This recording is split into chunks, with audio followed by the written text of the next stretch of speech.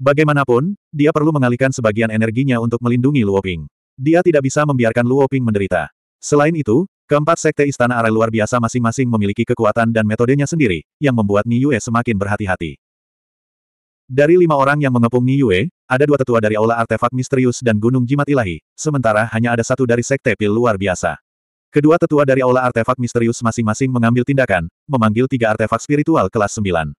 Mereka melayang di atas Ni Yue, melepaskan tekanan yang sangat kuat yang menyelimuti Ni Yue. Saat enam artefak spiritual kelas sembilan melepaskan tekanannya, mereka secara alami melancarkan serangan pada saat yang bersamaan. Lampu pedang, lampu pedang, dan serangan sonik yang tak terhitung jumlahnya semuanya berkumpul di tubuh Niyue. Kekuatan destruktif mereka sangat mengerikan.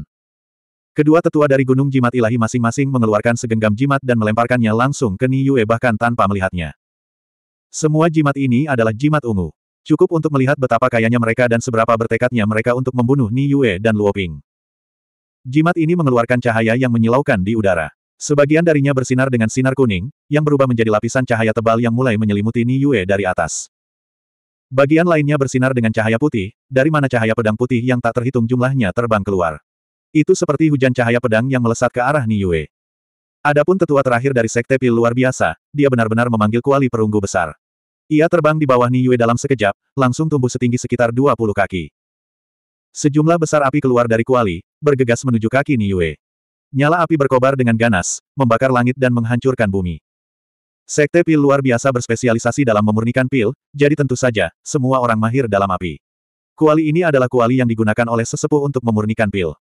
Ekspresi Ni Yue bermartabat. Menghadapi serangan kelima orang tersebut, dia tidak berani gegabah dan langsung melakukan serangan balik. Sambil berpikir, pedang bulan hantu dan roda mantra sembilan ekstrim muncul dari kehampaan. Yang pertama terbang di depan Luoping dan melepaskan cahaya bulan yang terang, menghalangi Boluan dan dua lainnya.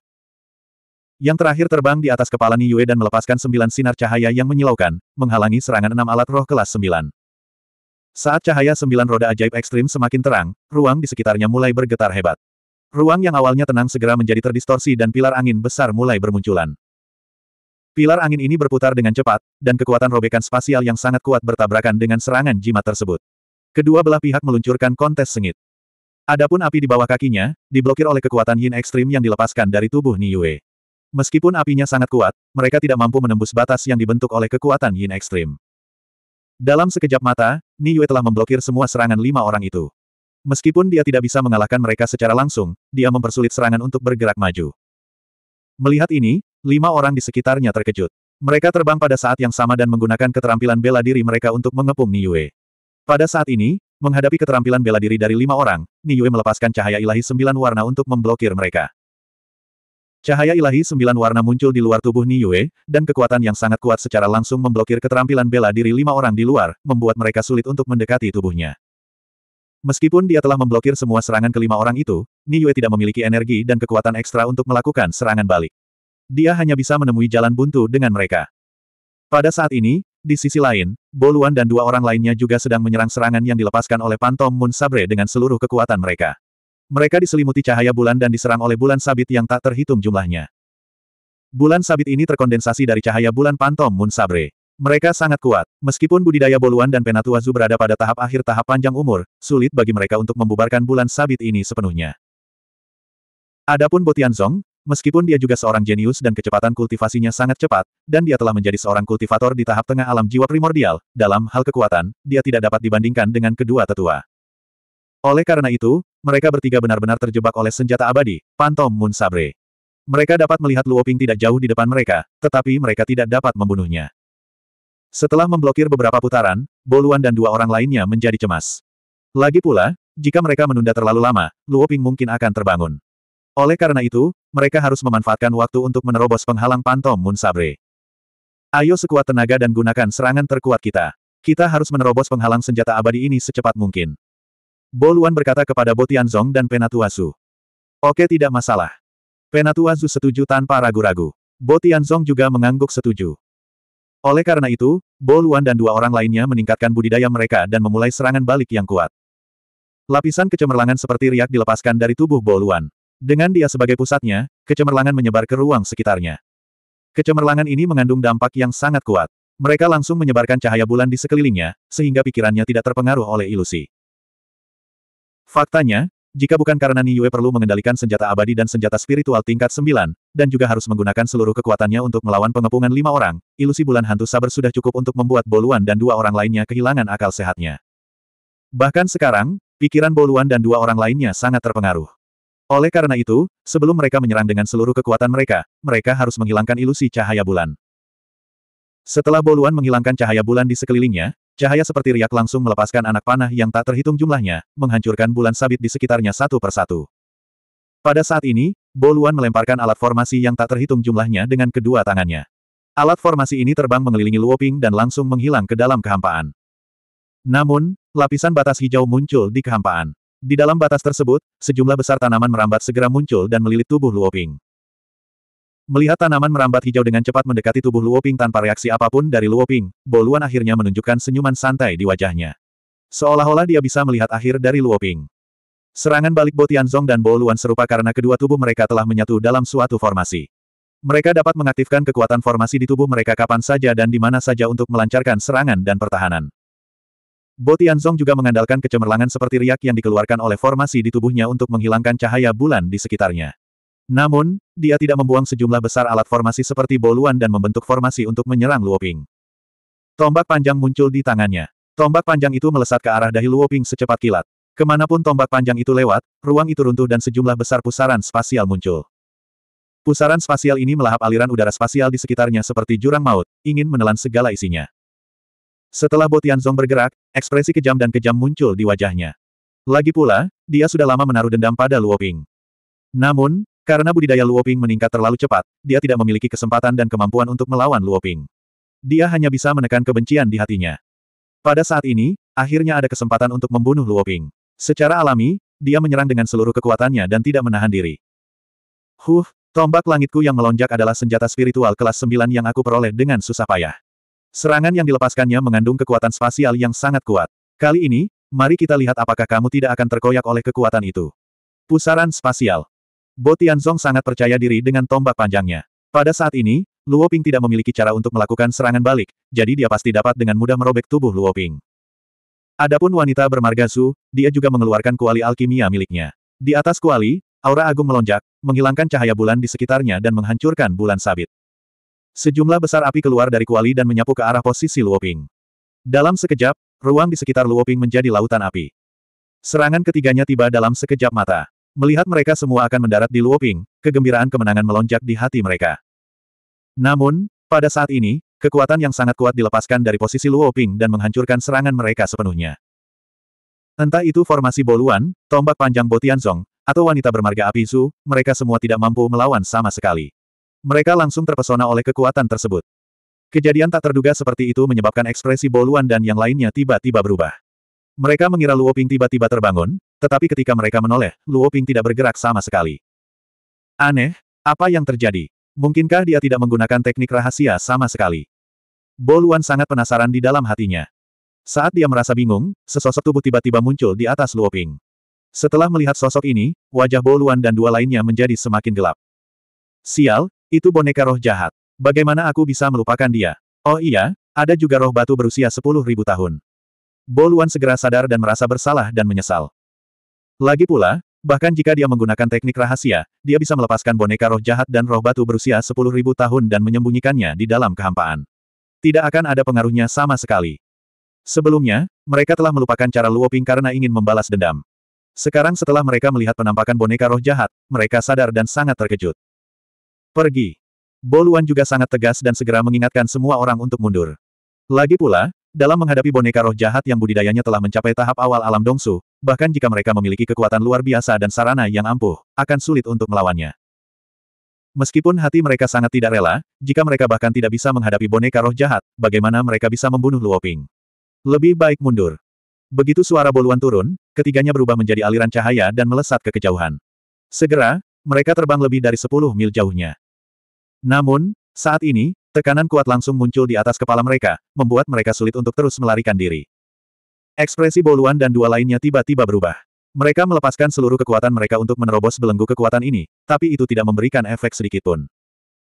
Segera, mereka bertiga terbungkus dalam kekuatan yang dilepaskan oleh boneka roh jahat dan kembali ke sisi Luoping, meninggalkan mereka tanpa kemampuan untuk bergerak. Saat ini, Lima orang yang mengepung Niyue awalnya ingin melarikan diri, tetapi setelah melihat nasib Boluan dan dua lainnya, mereka menolak gagasan tersebut. 752. Lima orang yang mengepung Niyue tidak berani melakukan gerakan apa pun karena takut mereka akan diserang oleh roh jahat. Bagaimanapun juga, mereka semua telah melihat kekuatan roh jahat. Pada saat ini, budidaya roh jahat telah mencapai tahap awal alam dongsu. Mereka tidak punya ruang untuk melawan dan mereka semua bisa merasakan datangnya kematian. Namun, setelah menunggu beberapa saat, mereka menemukan bahwa roh jahat tidak melakukan tindakan apa pun. Mereka semua bingung dan tidak tahu apa yang direncanakan oleh roh jahat. Namun, ketika mereka melihat Luoping bangun, mereka mengerti alasannya. Mereka tahu bahwa roh jahat sedang menunggu Luoping untuk menangani mereka secara pribadi. Luoping memandang kelima orang di seberang Niyue dan kemudian mengalihkan pandangannya ke Bo Luan dan dua lainnya.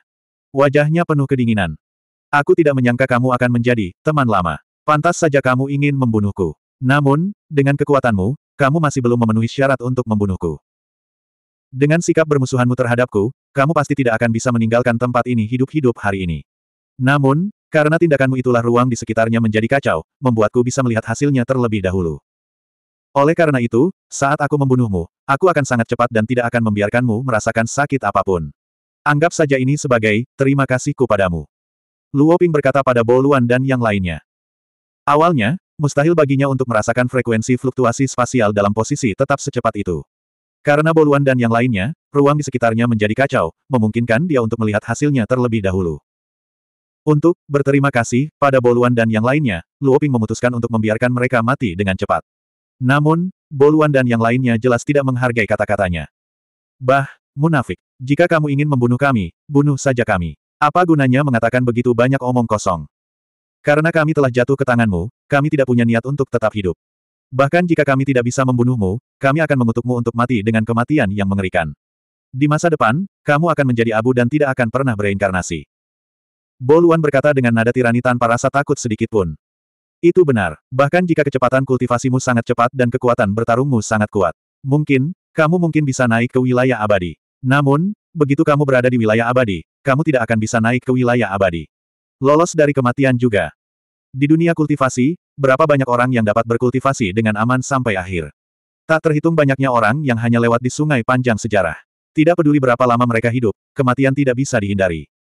Alasan mengapa setiap orang berkultivasi adalah agar mereka dapat hidup lebih lama sambil mengejar tingkat yang lebih tinggi. Bagi saya, kematian bukanlah apa-apa. Adapun kamu, kamu akan mati sebentar lagi. Suatu hari, kamu akan menjadi seperti kami, dibunuh oleh ahli lainnya. Seperti yang dikatakan senior Luo, tidak mungkin untuk hidup selamanya. Kata-kata wanita bermarga Zu ternyata sangat filosofis, menyebabkan Luo Ping dan Ni Yue mengungkapkan ekspresi heran. Mereka tidak menyangka bahwa wanita bermarga Zu tidak hanya tidak takut mati, dia juga mampu melihat kematian secara menyeluruh. Tingkat pencapaiannya sama sekali tidak kalah dengan Luo Huang. Seperti yang diharapkan dari putri dari Master Sekte sebelumnya dari Sekte Pil Ajaib. Tingkat kesadaran ini bukanlah sesuatu yang dapat dibandingkan dengan orang biasa. Saya khawatir bahkan senior Luo mungkin tidak memiliki kesadaran seperti itu pada usianya. Luo Ping sangat terkesan dengan wanita bermarga Su. Namun, selain kekaguman, ada juga sedikit kecurigaan. Sebelumnya, dia telah mengetahui bahwa wanita ini adalah putri dari Master Sekte dari Sekte Pil Ajaib sebelumnya. Namanya Zulin. Pencapaiannya dalam seni alkimia sangat tinggi dan telah mencapai level Grandmaster Alkimia kelas 7.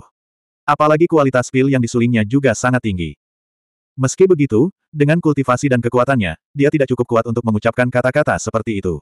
Hanya seseorang seperti Luo Huang, yang telah berkultivasi selama hampir satu juta tahun dan tidak dihancurkan selama puluhan ribu tahun, yang dapat memiliki pemahaman seperti itu. Pasti ada sesuatu yang mencurigakan pada wanita ini.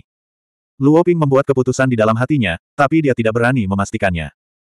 Setelah kata-kata Boluan dan Zulin yang tak kenal takut, orang-orang lainnya juga tidak takut mati. Masing-masing dari mereka mengangkat kepala tinggi-tinggi dan tampak seperti sedang menunggu untuk disembelih. Baiklah, kalau begitu, aku akan memenuhi keinginanmu. Luo Ping berkata dengan dingin. Dia tidak akan menunjukkan belas kasihan kepada Boluan dan yang lainnya, dia juga tidak akan membiarkan mereka pergi setelah merampas harta mereka. Hanya dengan membunuh orang-orang ini dia bisa menghilangkan semua masalah di masa depan. Begitu dia selesai berbicara, tujuh sinar cahaya dilepaskan dari tubuhnya. Mereka menembak ke arah Boluan, Bo Tianzong, dan lima orang di seberang Niyue. Energi kuat dalam sinar cahaya langsung mengubah ketujuh orang itu menjadi abu. Kecepatannya sangat cepat sehingga satu-satunya yang selamat, Zulin dari Sekte Pil Ajaib, tidak dapat mempercayai matanya. Zulin semakin bingung. Dia tidak mengerti mengapa Luo Ping menyelamatkannya. Oh tidak, jangan bilang dia ingin. Laki-laki benar-benar jahat. Dia sudah punya tunangan, tapi dia masih ingin menempati wanita lain. Dia lebih buruk dari binatang buas. Huh, mustahil bagiku untuk menjadi kuali budidaya. Bahkan jika aku mati, aku tidak akan membiarkan dia mendapatkan apa yang diinginkannya. Zulin mengira Luoping mendambakan kecantikannya dan ingin menjadikannya kuali budidaya. Demi melindungi reputasinya, dia rela mati. Saat Zulin hendak bunuh diri, kekuatan yang kuat langsung menahannya, membuatnya sulit untuk mengerahkan sedikit pun kekuatannya. Tidak mungkin dia bunuh diri. Apakah aku benar-benar akan kehilangan reputasiku di usia tua? Hati Zulin dipenuhi rasa takut. Sekarang dia bahkan tidak bisa bunuh diri, hanya ada satu hasil, dan itu adalah menjadi kuali budidaya Luoping. Namun, begitu ketakutannya muncul, dia merasakan kekuatan lain memasuki lautan kesadarannya. Sebelum dia mengetahui apa yang sedang terjadi, dia kehilangan kesadaran. Saat ini, Zulin berdiri di tempat dengan tatapan kusam di matanya. Di sisi berlawanan, wajah Luoping perlahan menunjukkan ekspresi terkejut. Saat ini, Ni Yue sudah terbang ke sisi Luoping. Melihat Luoping telah menggunakan teknik penghisap jiwa untuk menyerang lautan kesadaran Zulin, wajahnya menunjukkan ekspresi bingung. Setelah sekian lama, Luoping menarik kekuatan Divine Sense miliknya. Alisnya terkatup rapat, dan wajahnya tampak sangat bermartabat. Suamiku, ada apa? Kenapa ekspresimu seperti itu? Ni Yue segera menghampiri, memegang lengan Luoping, dan bertanya dengan prihatin. Dia jarang melihat Luoping menunjukkan ekspresi bermartabat, dan dia sedikit khawatir.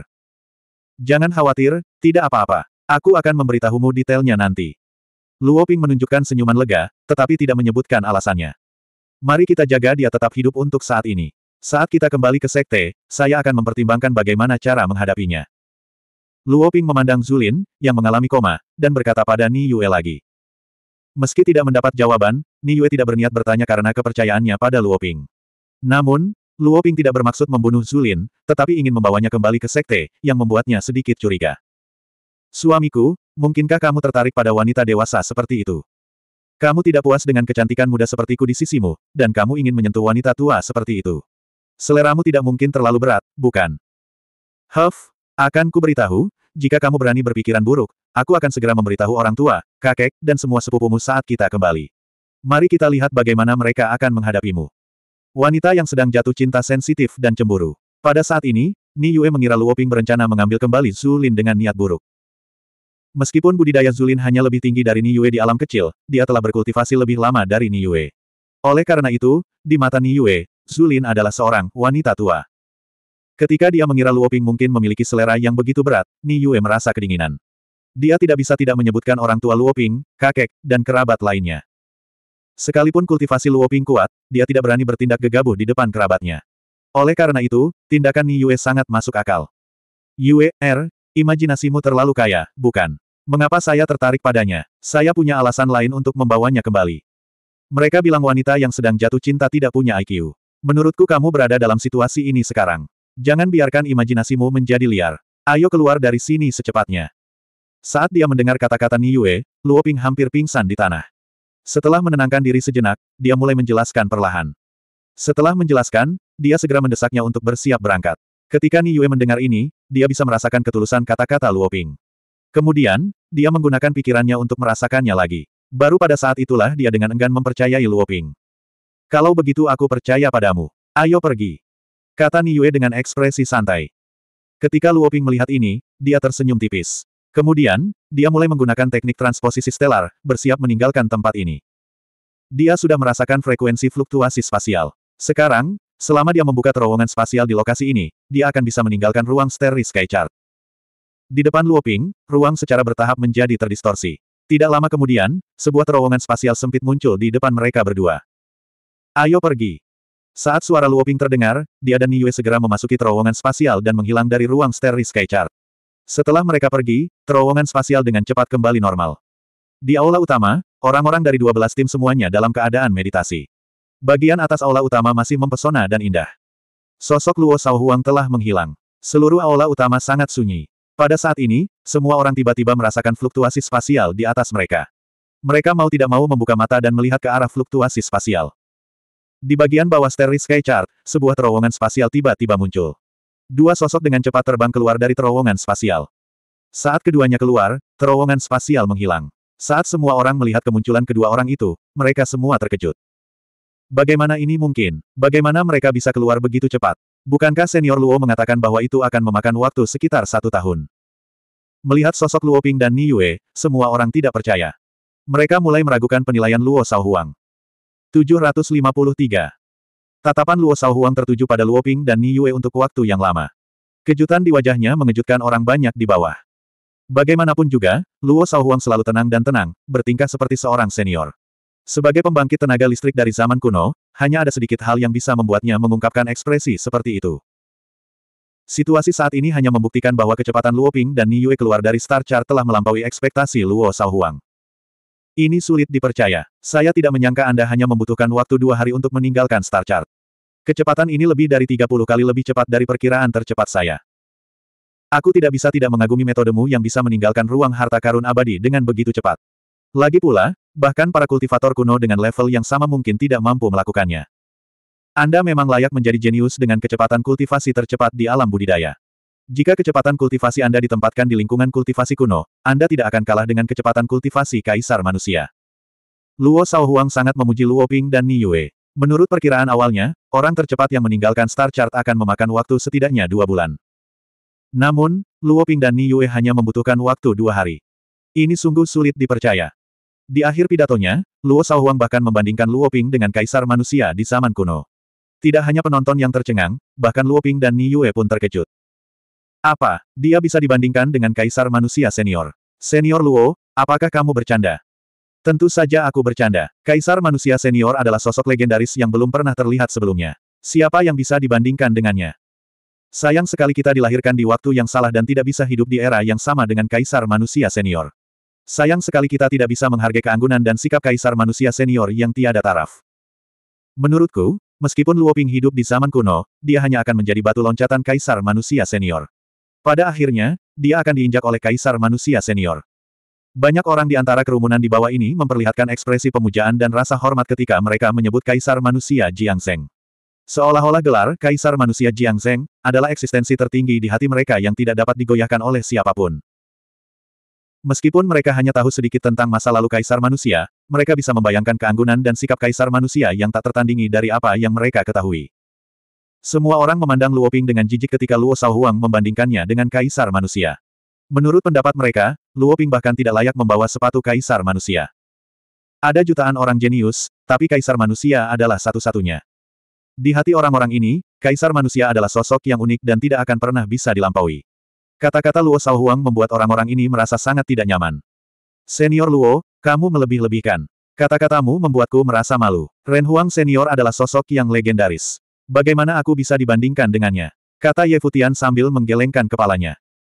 Karena Luo Senior dan Kaisar Manusia Senior adalah ahli dari era yang sama, bisakah Anda memberitahu kami tentang masa lalu Kaisar Manusia Senior dan biarkan kami memahami sikap sebenarnya Kaisar Manusia Senior?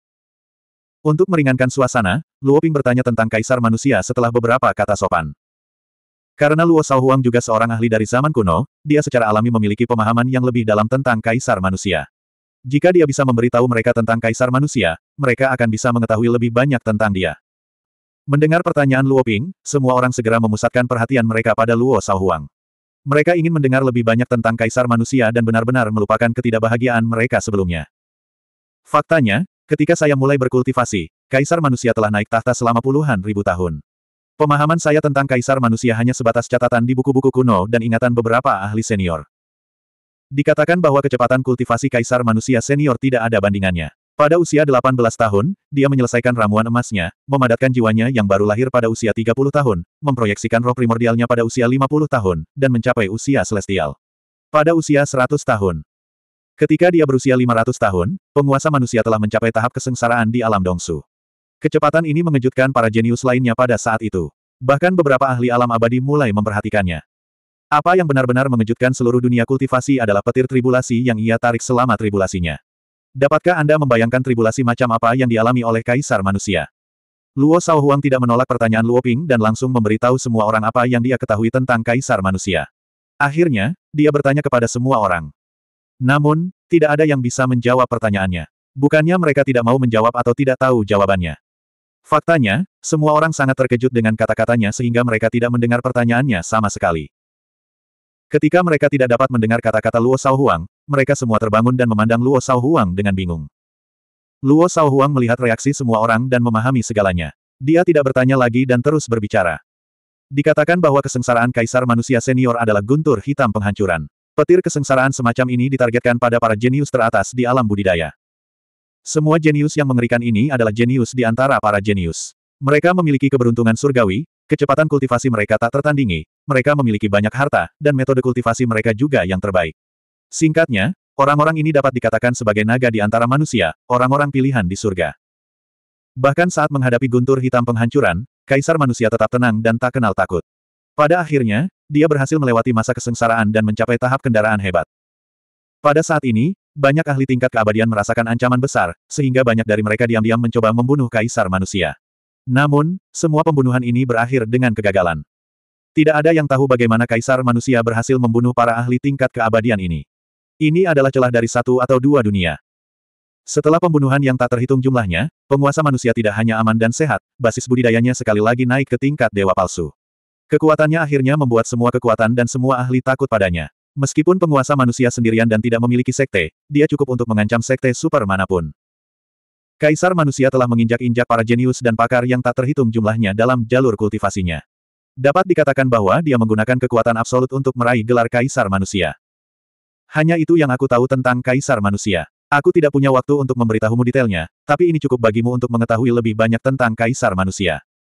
Luo Shaohuang memberikan ringkasan sederhana tentang perbuatan Kaisar Manusia. Meski begitu, hal itu memperdalam pemahaman dan kekaguman Luo Ping dan yang lainnya terhadap Kaisar Manusia. Pada usia 18 tahun, ramuan emas telah selesai dibuat. Ketika saya berumur 18 tahun, saya baru saja mulai berkultivasi.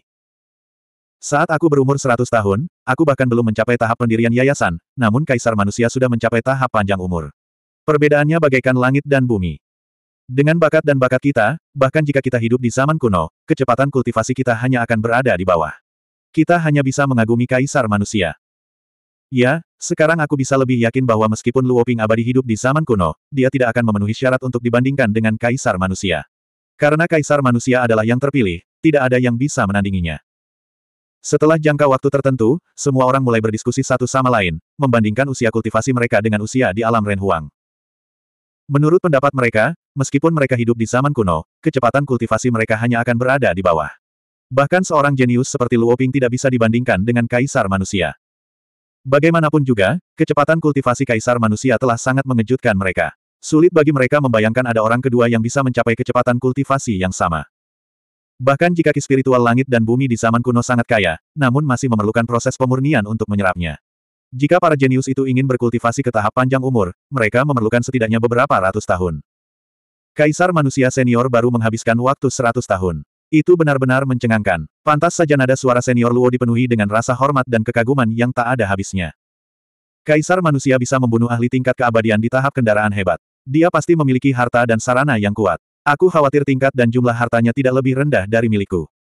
Orang-orang di bawah ini benar. Bahkan jika saya hidup di zaman kuno, kecepatan kultivasi saya tidak bisa dibandingkan dengan kaisar manusia. Saya hanya tidak tahu tingkat apa yang telah dicapai kaisar manusia. Luo Ping juga sangat terkejut dengan kecepatan kultivasi dan cara ampuh kaisar manusia. Dia tahu bahwa dia tidak bisa dibandingkan dengan kaisar manusia. Mungkin perkataan Luo Shaohuang sebelumnya hanya karena dia terkejut dengan cara dan kecepatan kultivasi kaisar manusia. Baiklah, Aku sudah memberitahumu tentang situasi kaisar manusia.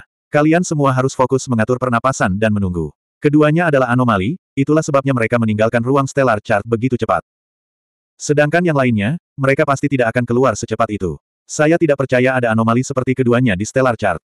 Luo Ping, Ni Yue, meskipun kalian berdua meninggalkan ruang stellar chart pada saat yang sama, menurut aturan sebelumnya, harusnya masih ada peringkat.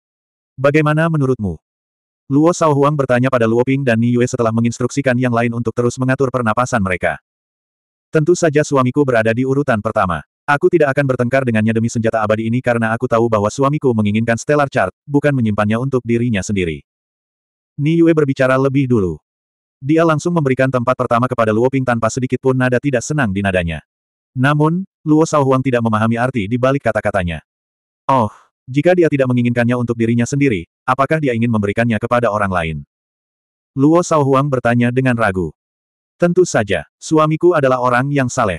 Alasan dia menginginkan Stellar Chart dengan cara apa pun adalah karena dia ingin memberikannya kepada wanita yang sangat penting baginya. Ni Yue menjawab tanpa ragu-ragu. Setelah mendengar kata-kata Ni Yue, kerumunan di bawah punya tebakan tertentu. Bagaimanapun, mereka mengetahui sejarah Luo Ping dengan lebih baik. 754. Sepertinya Luoping memang orang yang benar. Karena Stellar Chart sudah menjadi milikmu, terserah padamu untuk memberikannya kepada siapa pun yang kamu mau. Namun, ada satu hal yang harus kamu ingat. Tidak peduli kepada siapa kamu memberikannya, kamu harus memastikan bahwa Stellar Chart mampu mengeluarkan seluruh potensi dan kekuatannya. Kamu tidak boleh membiarkan harta karun sekte kami menjadi tidak diketahui. Luo Shaohuang berkata pada Luo Ping. Meskipun sekte abadi bintang Luna telah dihancurkan, Luo Shaohuang telah menggunakan teknik terlarang di saat-saat terakhir hidupnya. Dia telah membuat sebagian jiwanya menunggu jutaan tahun untuk mewariskan teknik budidaya sekte, teknik seni bela diri, dan harta karun. Meski sekte tersebut telah dihancurkan, warisannya masih ada. Dia tidak mengecewakan leluhur dari sekte abadi bintang Luna. Senior Luo, jangan khawatir. Saya berjanji kepada Anda bahwa Stellar Chart akan mampu mengeluarkan seluruh potensi dan kekuatannya di masa depan. Itu tidak akan mempermalukan nama sekte abadi bintang Luna. Luo Ping berjanji. Baiklah, aku percaya padamu. Sekarang, kalian semua harus istirahat dan menunggu. Ketika tiga orang lainnya keluar, aku akan segera mewariskan teknik budidaya sekte dan teknik seni bela diri kepadamu. Setelah Luo Shaohuang selesai berbicara, dia menghilang sekali lagi. Melihat ini, Luo Ping dan Niyue mendarat di area sekte abadi seratus sungai dan menunggu dengan sabar bersama yang lainnya. Sekali lagi, semua orang memasuki kondisi meditasi. Kali ini, mereka berkultivasi dalam jangka waktu yang lebih lama. Hanya setelah 50 hari, angka lain keluar dari Stellar Chart. Melihat orang ini muncul, semua orang merasa itu wajar saja. Pada saat yang sama, mereka merasa bahwa hal itu tidak layak bagi orang ini. Sangat disayangkan. Jika bukan karena Luo Ping, maka peringkat pertama pastilah Chen Huan. Lagi pula, dia memiliki konstitusi bintang suci.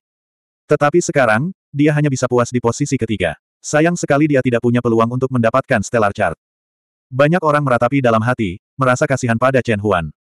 Ketika Chen Huan keluar, dia awalnya sangat senang. Namun, ketika dia melihat tatapan aneh di mata semua orang, dia menyadari ada sesuatu yang tidak beres. Setelah beberapa pengamatan, dia menyadari bahwa Luo Ping dan Ni Yue sedang berdiri di depan Sekte Abadi Seratus Sungai. Wajahnya langsung pucat. Bagaimana ini mungkin? Chen Huan merasa sulit menerimanya. Dia awalnya berpikir bahwa dengan tubuh surgawinya, dia akan menjadi orang pertama yang menemukan roh senjata dari bagan langit berbintang dan menjadi orang pertama yang meninggalkan ruang gulungan. Tapi sekarang, Luo Ping dan Ni Yue telah keluar sebelum dia. Bagaimana mungkin dia tidak kaget dan kecewa? Saya adalah orang pertama yang menemukan artefak spirit. Bagaimana mereka meninggalkan ruang gulungan? Jangan bilang kalau mereka punya cara lain selain roh artefak. Chen Huan menebak. Chen Huan, tempat ketiga. Kamu bisa menerima warisan sekte kami. Turun dan berlatih dulu. Kali ini, sosok Luo Huang tidak muncul. Hanya suaranya yang bergema di aula. Ketika Chen Huan mendengar suara Luo Huang, Meskipun dia sangat tidak mau, dia tetap setuju. Setelah itu, dia mendarat di tim Sekte Tujuh Bintang dengan ekspresi berat di wajahnya. Pada hari kelima setelah Chen Huan keluar, Gong Ziyu juga keluar dari Starry Sky Chart. Seperti Chen Huan, dia juga berpikir bahwa dia adalah yang pertama. Namun, saat dia melihat Luo Ping dan Ni Yue, serta sosok Chen Huan, dia menjadi kecewa dan tidak mau. Setelah tiga hari berikutnya, sosok terakhir muncul dari gulungan di atas aula. Saat semua orang melihat orang ini, mereka terkejut. Mereka juga terkejut sesaat, namun setelah memikirkannya, mereka merasa lega. Liu Shui tertinggi. Tidak heran, dia mengembangkan kekuatan yin yang ekstrim, dan kekuatan bintang juga merupakan kekuatan lunak. Tidak mengherankan jika dia dapat menemukan lokasi roh senjata begitu cepat. Dia menyerap guntur ungu dalam jumlah besar sebelumnya. Jika dia mendapatkan warisan dari Sekte Abadi Bulan Bintang, yin dan yang di tubuhnya tidak hanya akan seimbang, tetapi kekuatannya juga akan meningkat berkali-kali lipat. Luo Ping melihat gambar di atas. Setelah terkejut, dia memikirkan metode kultivasi yang dikembangkan pihak lain dan tidak menganggapnya aneh. Orang di atas adalah Liu Shui tertinggi. Karena kuil langit Yin misterius mengembangkan kekuatan Yin ekstrim, dan kekuatan bintang juga merupakan kekuatan lunak, kedua atribut tersebut serupa. Itulah sebabnya Liu Shui tertinggi dapat menemukan roh senjata dengan begitu cepat. Haha, apakah aku yang pertama keluar? Liu Shui tertinggi jelas sangat senang ketika dia bertanya kepada orang banyak dengan keras. Setelah dia selesai berbicara, dia melihat semua orang menggelengkan kepala. Saat itulah ekspresinya berubah dan dia mulai mencari. Segera, dia melihat Luoping dan tiga lainnya yang keluar dari Starry Sky Chart. Apa, saya sebenarnya orang kelima yang keluar. Bagaimana ini mungkin? Seperti beberapa orang sebelumnya, Liu Sui tertinggi mengira dialah yang pertama keluar. Dia tidak percaya ada orang yang bisa lebih cepat darinya. Namun, kenyataan memaksanya menerima apa yang dilihatnya. Setelah mengalami depresi sejenak, Liu Sui tertinggi tertawa lagi. Untungnya, saya yang kelima. Bahkan jika saya tidak bisa mendapatkan Starry Sky Chart, setidaknya saya bisa mendapatkan warisan dari Starry Sky Immortal Sect. Itu lebih baik daripada tidak sama sekali. Selama saya bisa mendapatkan warisan dari Sekte Abadi Langit Berbintang, kekuatan saya pasti akan meningkat dengan cepat setelah berkultivasi. Di masa depan, melampaui kesengsaraan dan kenaikan tidak akan menjadi masalah. Selama saya mencapai domain abadi, saya tidak perlu khawatir tidak memiliki artefak abadi. Liu Shui tertinggi sebenarnya merasa sangat beruntung. Dia tidak merasa tertekan karena tidak bisa mendapatkan Starry Sky Chart. Sebaliknya, dia menghibur dirinya sendiri. Mendengar kata-kata tertinggi Liu Shui, semua orang tidak percaya. Mereka tidak menyangka Liu Shui tertinggi yang jahat itu berpikiran terbuka. Liu Shui tertinggi memang berpikiran terbuka. Kalau begitu, turunlah dan tunggu warisan sekte saya. Saat ini, suara Luo Huang terdengar lagi. Sosoknya muncul tidak jauh dari Liu Shui tertinggi. Liu Shui tertinggi langsung setuju ketika dia mendengar kata-kata Luo Huang. Kemudian, dia mendarat di kelompok kuil langit yin yang misterius dan menunggu untuk menerima warisan dari Sekte Abadi Langit Berbintang. Saat ini, mata semua orang tertuju pada Luo Huang. Meskipun mereka tidak bisa mendapatkan warisan dari Sekte Abadi Langit Berbintang, mereka tetap ingin melihat teknik budidaya dan teknik bela diri yang kuat dari Sekte Abadi Langit Berbintang. Sebelum Anda menerima warisan, Anda harus membuat sumpah setan hati. Anda harus berjanji bahwa setelah Anda memasuki domain abadi di masa depan, Anda akan memberitahu para tetua sekte tentang penghancuran Sekte Abadi Langit Berbintang. Jika kamu tidak mau, aku tidak akan memaksamu. Aku hanya bisa menyerahkan warisan kepada orang lain. Luo Shaohuang bertanya pada Luo Ping dan yang lainnya sebelum menerima warisan. Luo Ping dan yang lainnya tidak terkejut mendengar kata-kata Luo Shaohuang. Lagi pula, tidak ada makan siang gratis di dunia ini. Jika ingin mendapat manfaat, mereka harus membayar harganya. Meskipun mereka harus memenuhi sumpah setan hati begitu mereka berhasil, mereka tidak khawatir. Bagaimanapun, mereka hanya merekrut orang dan menyebarkan berita. Itu bukanlah sesuatu yang terlalu berbahaya. Tentu saja aku bersedia mengucapkan sumpah setan hati. Chen Huan memimpin dan mengucapkan sumpah setan hati tanpa ragu-ragu. Setelah itu, Luo Ping dan tiga lainnya juga bersumpah dalam hati. Luo Sao Huang tersenyum puas saat melihat ini. Baru setelah itu dia memulai proses pewarisan. Metode budidaya dan keterampilan bela diri sekte kami semuanya mengandalkan kekuatan bintang untuk mengaktifkannya, jadi jika Anda ingin menggunakan metode budidaya dan keterampilan bela diri untuk menyerang, Anda harus terlebih dahulu mengembangkan metode budidaya penjaga sekte kami, seni bintang sembilan surga. Kalian berlima bisa memperoleh seni bintang sembilan surga. Namun, kalian harus memilih teknik budidaya dan teknik bela diri lainnya. Urutan pemilihan akan didasarkan pada peringkat kalian. Teknik bela diri dari Sekte Abadi Langit Berbintang terutama dibagi menjadi lima aspek. Yaitu teknik pedang, teknik susunan, teknik gerakan, teknik telapak tangan, dan teknik jiwa. Setiap teknik bela diri memiliki teknik budidaya yang sesuai untuk dikembangkan. Sekarang, mulai dari Luoping, kamu akan menjadi orang pertama yang memilih teknik kultivasi. Kemudian, yang lain akan memilih sesuai dengan peringkatnya. Mari kita mulai.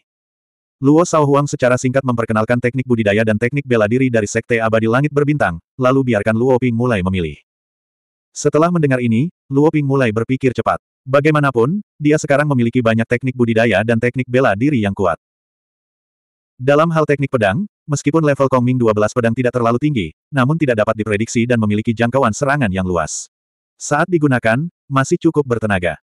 Dalam hal teknik arai, dia memiliki buku arai, yang cukup baginya untuk menguasai dan menggunakan berbagai teknik arai yang kuat. Ketika tingkat kultivasinya meningkat, dia akan dapat menggunakan lebih banyak teknik susunan. Dalam hal teknik gerakan, langkah mendaki surga bayangan mempesona yang diajarkan Wu Feiying kepadanya memiliki tingkat yang sangat tinggi dan sangat cepat. Sekarang dia memiliki Thunderbolt Armor, dia seperti seekor harimau yang memiliki sayap. Adapun teknik telapak tangan, meskipun tidak ada teknik telapak tangan tingkat tinggi dan kuat, keterampilan misterius ilusi ekstrimnya dapat menampilkan semua jenis serangan.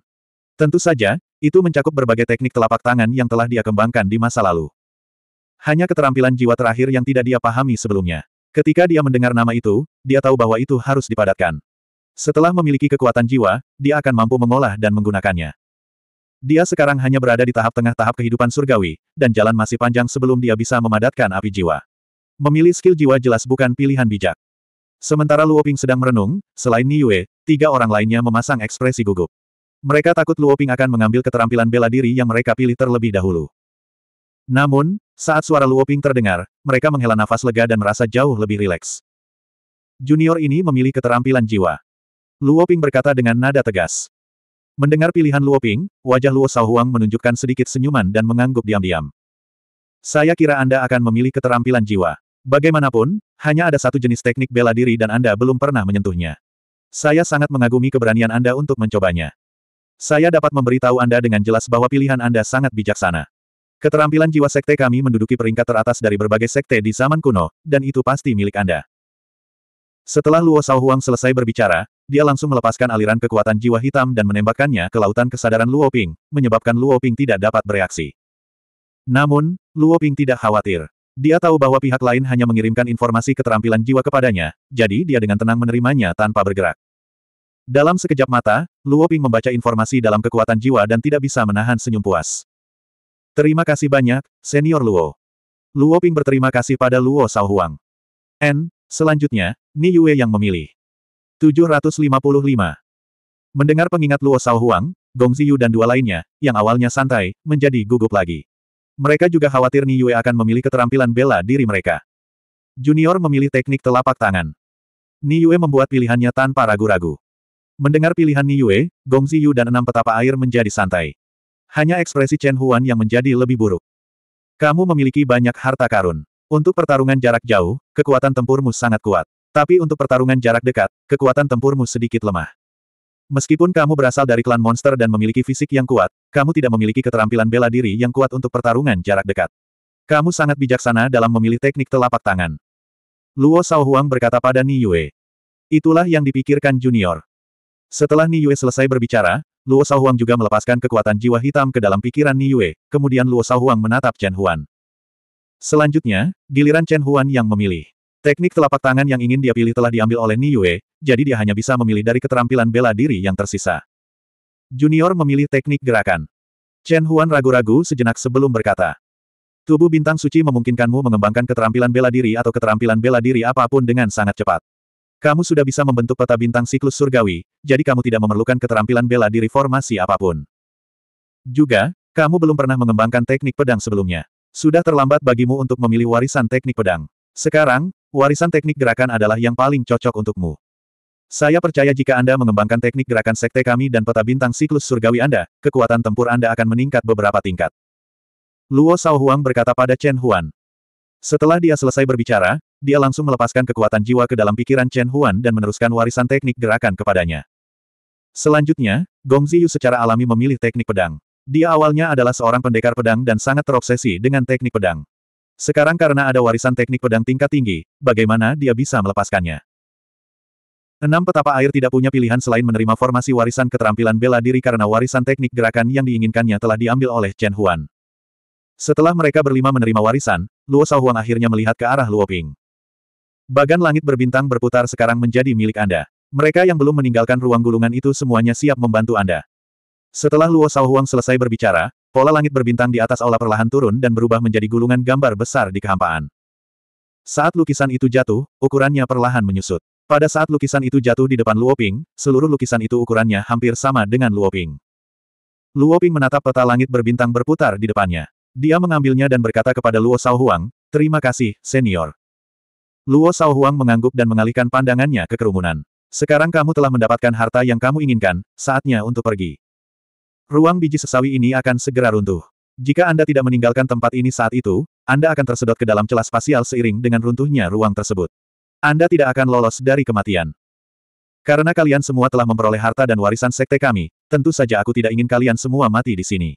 Namun, aku tidak punya banyak kekuatan jiwa yang tersisa, jadi aku tidak bisa mengirim kalian keluar. Kamu hanya bisa mengandalkan dirimu sendiri untuk pergi. Kata-kata Luo Shaohuang membuat Luo Ping dan yang lainnya merasa sangat tidak nyaman. Senior, kenapa ruang biji sesawi ini tiba-tiba runtuh? Apakah karena gangguan kita? Luo Ping bertanya pada Luo Shaohuang. Benar, stabilitas ruang biji sesawi ini terutama dijaga oleh bintang-bintang di ruang angkasa. Bintang-bintang ini dapat dikatakan sebagai titik susunan ruang biji sesawi. Sekarang bintang-bintang ini telah dihancurkan olehmu, seluruh ruang menjadi kacau dan sangat tidak seimbang. Hanya karena kekuatan jiwaku, ia tidak segera runtuh. Baru saja, ketika aku mengumpulkan metode kultivasi dan keterampilan bela diri di laut jiwaku dan memberikannya kepadamu, aku menggunakan 80% kekuatan jiwaku. Oleh karena itu, aku tidak akan bisa bertahan lebih lama lagi. Cepat pergi. Aku akan bertahan lebih lama lagi dan berusaha menerbangkanmu ke simpul spasial sehingga kamu dapat dengan lancar meninggalkan ruang biji sesawi ini. Luo Shaohuang menjelaskan dengan nada tergesa-gesa, lalu mendesak Luo Ping dan yang lainnya untuk pergi secepat mungkin. Setelah mendengar ini, semua orang mengerti alasannya. Ekspresi mereka berubah drastis, dan mereka segera mengucapkan selamat tinggal dan terbang keluar aula. Setelah Luoping mengucapkan selamat tinggal, dia dan Niyue memimpin tim dari Sekte Ilahi Seratus Sungai dan Sekte Konfusianisme Abadi dan terbang keluar. Dalam waktu singkat, semua orang telah meninggalkan aula. Di seluruh aula, hanya sosok Luo Huang yang tersisa. Dia melihat keluar aula dan merenung sejenak. Kemudian, senyuman yang menggugah pikiran muncul di wajahnya, dan sosoknya menghilang dari aula. Master Sekte Luo, situasinya kritis sekarang. Saya pikir kami hanya bisa mengandalkan pedang bintang tiga bulan miring Anda sebagai panduan untuk terbang ke simpul spasial secepat mungkin. Seorang tetua dari Sekte Konfusianisme Abadi berkata kepada Luo Ping. Di luar aula, setelah semua orang terbang agak jauh, para tetua dari tiga kamar dagang mengeluarkan kapal mereka lagi. Semua orang memasuki kapal. Namun, mereka tidak mengetahui secara pasti lokasi simpul spasial tersebut. Sejenak, mereka berhenti di tempatnya dan melihat kapal Luo Ping. Itulah yang aku pikirkan. Luo Ping mengangguk dan berkata. Kemudian, Luo Ping memanggil pedang bintang tiga bulan miring. Setelah beberapa saat berkomunikasi, pedang bintang tiga bulan miring segera melayang ke langit dan terbang dengan cepat ke suatu arah. Ikuti itu. Luo Ping berkata kepada tetua kamar dagang yang mengendalikan kapal. Mendengar ini, tetua kamar dagang segera mengendalikan kapal untuk mengikuti arah pedang bintang tiga bulan miring. Kapal-kapal lain juga bereaksi cepat dan mengejar mereka. Kesembilan kapal itu semuanya meningkatkan kecepatannya hingga batasnya, bergerak cepat di ruang biji sesawi. Mereka terbang selama empat jam penuh. Setelah empat jam, mereka masih belum mencapai simpul spasial. Namun, saat ini, mereka menemukan bahwa bintang-bintang di atas secara bertahap kehilangan cahayanya dan kemudian menghilang ke dalam kehampaan. Meskipun seluruh ruang biji sesawi sangat luas, dan jumlah bintang tidak terhitung banyaknya, kecepatan hilangnya bintang masih sangat cepat. Ke mana pun kapal mereka terbang, bintang-bintang di lokasi itu perlahan-lahan menghilang. Oh tidak, sepertinya senior Luo tidak bisa bertahan. Seluruh ruang biji sesawi akan runtuh. Kita harus cepat. Di kapal Luoping, tetua kamar dagang berkata dengan cemas. Semuanya, gunakan seluruh kekuatanmu dan masukkan kekuatanmu ke dalam inti formasi kapal untuk meningkatkan kecepatan kapal. Penatua kamar dagang lainnya berkata dengan keras. Mendengar ini, semua orang melepaskan kekuatan batin sejati mereka tanpa ragu-ragu dan menyuntikkannya ke dalam inti formasi kapal. Bagaimanapun, ini adalah masalah hidup dan mati sekarang, dan mereka tidak boleh gegabah. Dalam keadaan seperti itu, sembilan kapal tiba-tiba meningkatkan kecepatannya dan terbang selama seperempat jam lagi. Selama waktu ini, ketika bintang-bintang menghilang dengan cepat, cahaya di ruang biji sesawi tiba-tiba meredup. Selanjutnya, ruang benih sesawi yang awalnya stabil mulai bergetar hebat, menyebabkan penerbangan pesawat ruang angkasa menjadi goyah. Jika bukan karena pesawat luar angkasa itu sangat besar dan berat, pesawat itu akan terbalik karena getarannya. Simpul spasial ada ribuan mil di depan. Semuanya, bersiaplah. Suara Luoping menyebar ke sembilan kapal perang, membuat semua orang di kapal perang menunjukkan sedikit senyuman. Saat suara Luoping jatuh, seluruh ruangan tiba-tiba bergetar hebat. Sejauh mata mereka memandang, ruang di sekitar mereka mulai runtuh. Dengan runtuhnya ruang angkasa, semua bintang yang tersisa menghilang. Aliran udara di ruangan itu kacau. Gelombang Spesky bergerak bola-balik secara sembarangan, menggulung Space Storm yang tak terhitung jumlahnya. Badai luar angkasa yang tak terhitung jumlahnya muncul di sekitar sembilan kapal, menyelimuti seluruh kapal. Gelombang yang dahsyat menyebabkan kapal-kapal bergoyang tidak stabil, hampir terbalik. Karena terhalangnya badai luar angkasa, kapal-kapal besar tidak dapat lagi terbang. Mereka berhenti di tempatnya dan terus gemetar. Semuanya, segera tinggalkan kapal dan terbang menuju simpul spasial. Di sembilan kapal, para tetua dari tiga kamar dagang mengingatkan semua orang. Dalam keadaan seperti itu, mereka hanya bisa meninggalkan kapal dan mengandalkan kekuatan mereka sendiri untuk terbang di angkasa. Dengan cara ini, mereka dapat dengan cepat mendekati simpul spasial di celah Space Storms. Semua orang terbang keluar dari kapal tanpa ragu-ragu, lalu mengikuti di belakang pedang bintang tiga bulan miring dan terbang ke depan dengan cepat.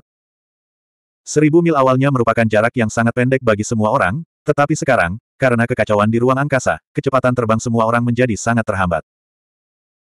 Mereka tidak hanya harus menstabilkan tubuh mereka dengan seluruh kekuatan mereka, tetapi mereka juga harus bekerja keras untuk terbang di bawah serangan badai luar angkasa dan turbulensi luar angkasa. Hal ini menyebabkan kecepatan terbang setiap orang hanya menjadi 30% dari kecepatan biasanya. Ah, bang. Semua orang baru saja terbang sesaat ketika mereka mendengar teriakan.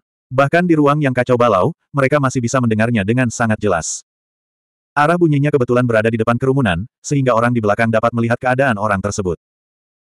Mereka melihat seorang penggarap zaman surgawi terkena turbulensi luar angkasa dan berubah menjadi tumpukan daging dan darah dalam sekejap. Kemudian, dia tersapu ke dalam Space Storms, tanpa meninggalkan tulang belulang. Melihat pemandangan yang begitu tragis, para penggarap di belakang ketakutan.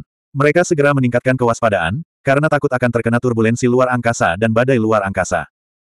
Namun, meskipun mereka sangat berhati-hati, tidak mudah untuk memastikan keselamatan mereka di tempat yang kacau seperti itu. Segera, beberapa orang yang berkultivasi sendiri mengeluarkan jeritan yang membekukan darah sebelum mereka ditelan oleh turbulensi spasial dan badai spasial dan berubah menjadi abu. 756. Kalian semua ikuti di belakangku. Jangan tinggalkan garis pertahanan Bright Serenade Tracer Mirror. Luoping mengingatkan orang-orang dari Sekte Ilahi Seratus Sungai dan Sekte Konfusianisme Abadi. Dia sudah mengeluarkan Bright Serenade Tracer Mirror. Dua cermin berharga itu melayang di atas kerumunan, melepaskan energi hitam dan putih yang kuat yang berubah menjadi penghalang pertahanan tebal yang melindungi semua orang. Di bawah perlindungan cermin harta karun tenang cerah, orang-orang dari Sekte Ilahi Seratus Sungai dan Sekte Konfusianisme Abadi tidak menderita kerugian apa pun. Hanya pada awalnya, beberapa orang yang berada terlalu jauh dan tidak memasuki batas pelindung cermin berharga itu mati di tempat. Luoping mengendalikan Bright Serenade Tracer Mirror untuk menahan dampak ruang kacau di sekitarnya sambil terbang dengan cepat. Dia berada di bawah tekanan besar. Meskipun tubuh fisik dan indera spiritualnya sangat kuat, dan budidayanya sangat mendalam, dia masih harus mengendalikan Bright Serenade Tracer Mirror untuk melindungi ribuan orang. Konsumsinya sangat besar. Oleh karena itu, setelah terbang sejauh 400 li lagi, dia tidak dapat bertahan lebih lama lagi. Pada saat ini, para penggarap diri dari kedua tim secara bersamaan menyalurkan yuan sejati mereka ke cermin harta karun tenang cerah di atas mereka untuk mengurangi tekanan pada Luoping. Untuk melindungi hidup mereka sendiri, orang-orang ini secara alami tidak menahan diri dan memberikan segalanya. Di bawah penyaluran yuan sejati mereka, Luoping langsung merasakan tekanan pada dirinya meningkat. Tinggal kurang dari 300 li. Setiap orang harus bertahan. Begitu batas pertahanan cermin harta karun tenang cerah dipatahkan, kita tidak akan mampu menahan gejolak dan badai spasial di sekitar kita. Ruang di luar semakin kacau, dan retakan spasial kecil sudah mulai muncul. Lihat tim lain, banyak dari mereka yang memiliki budidaya lebih rendah telah tertelan oleh retakan spasial. Oleh karena itu, kita harus memastikan bahwa garis pertahanan Bright Serenade Tracer Mirror tidak rusak. Selama kita berhasil melewati 200 li terakhir, kita akan aman. Luoping mengingatkan semua orang. Meskipun tim lain juga memperoleh satu atau dua senjata abadi, mereka yang memiliki senjata abadi semuanya telah memasuki Revolving Starry Sky Chart. Oleh karena itu, mereka tidak dapat mengandalkan garis pertahanan senjata abadi untuk melindungi diri mereka sendiri.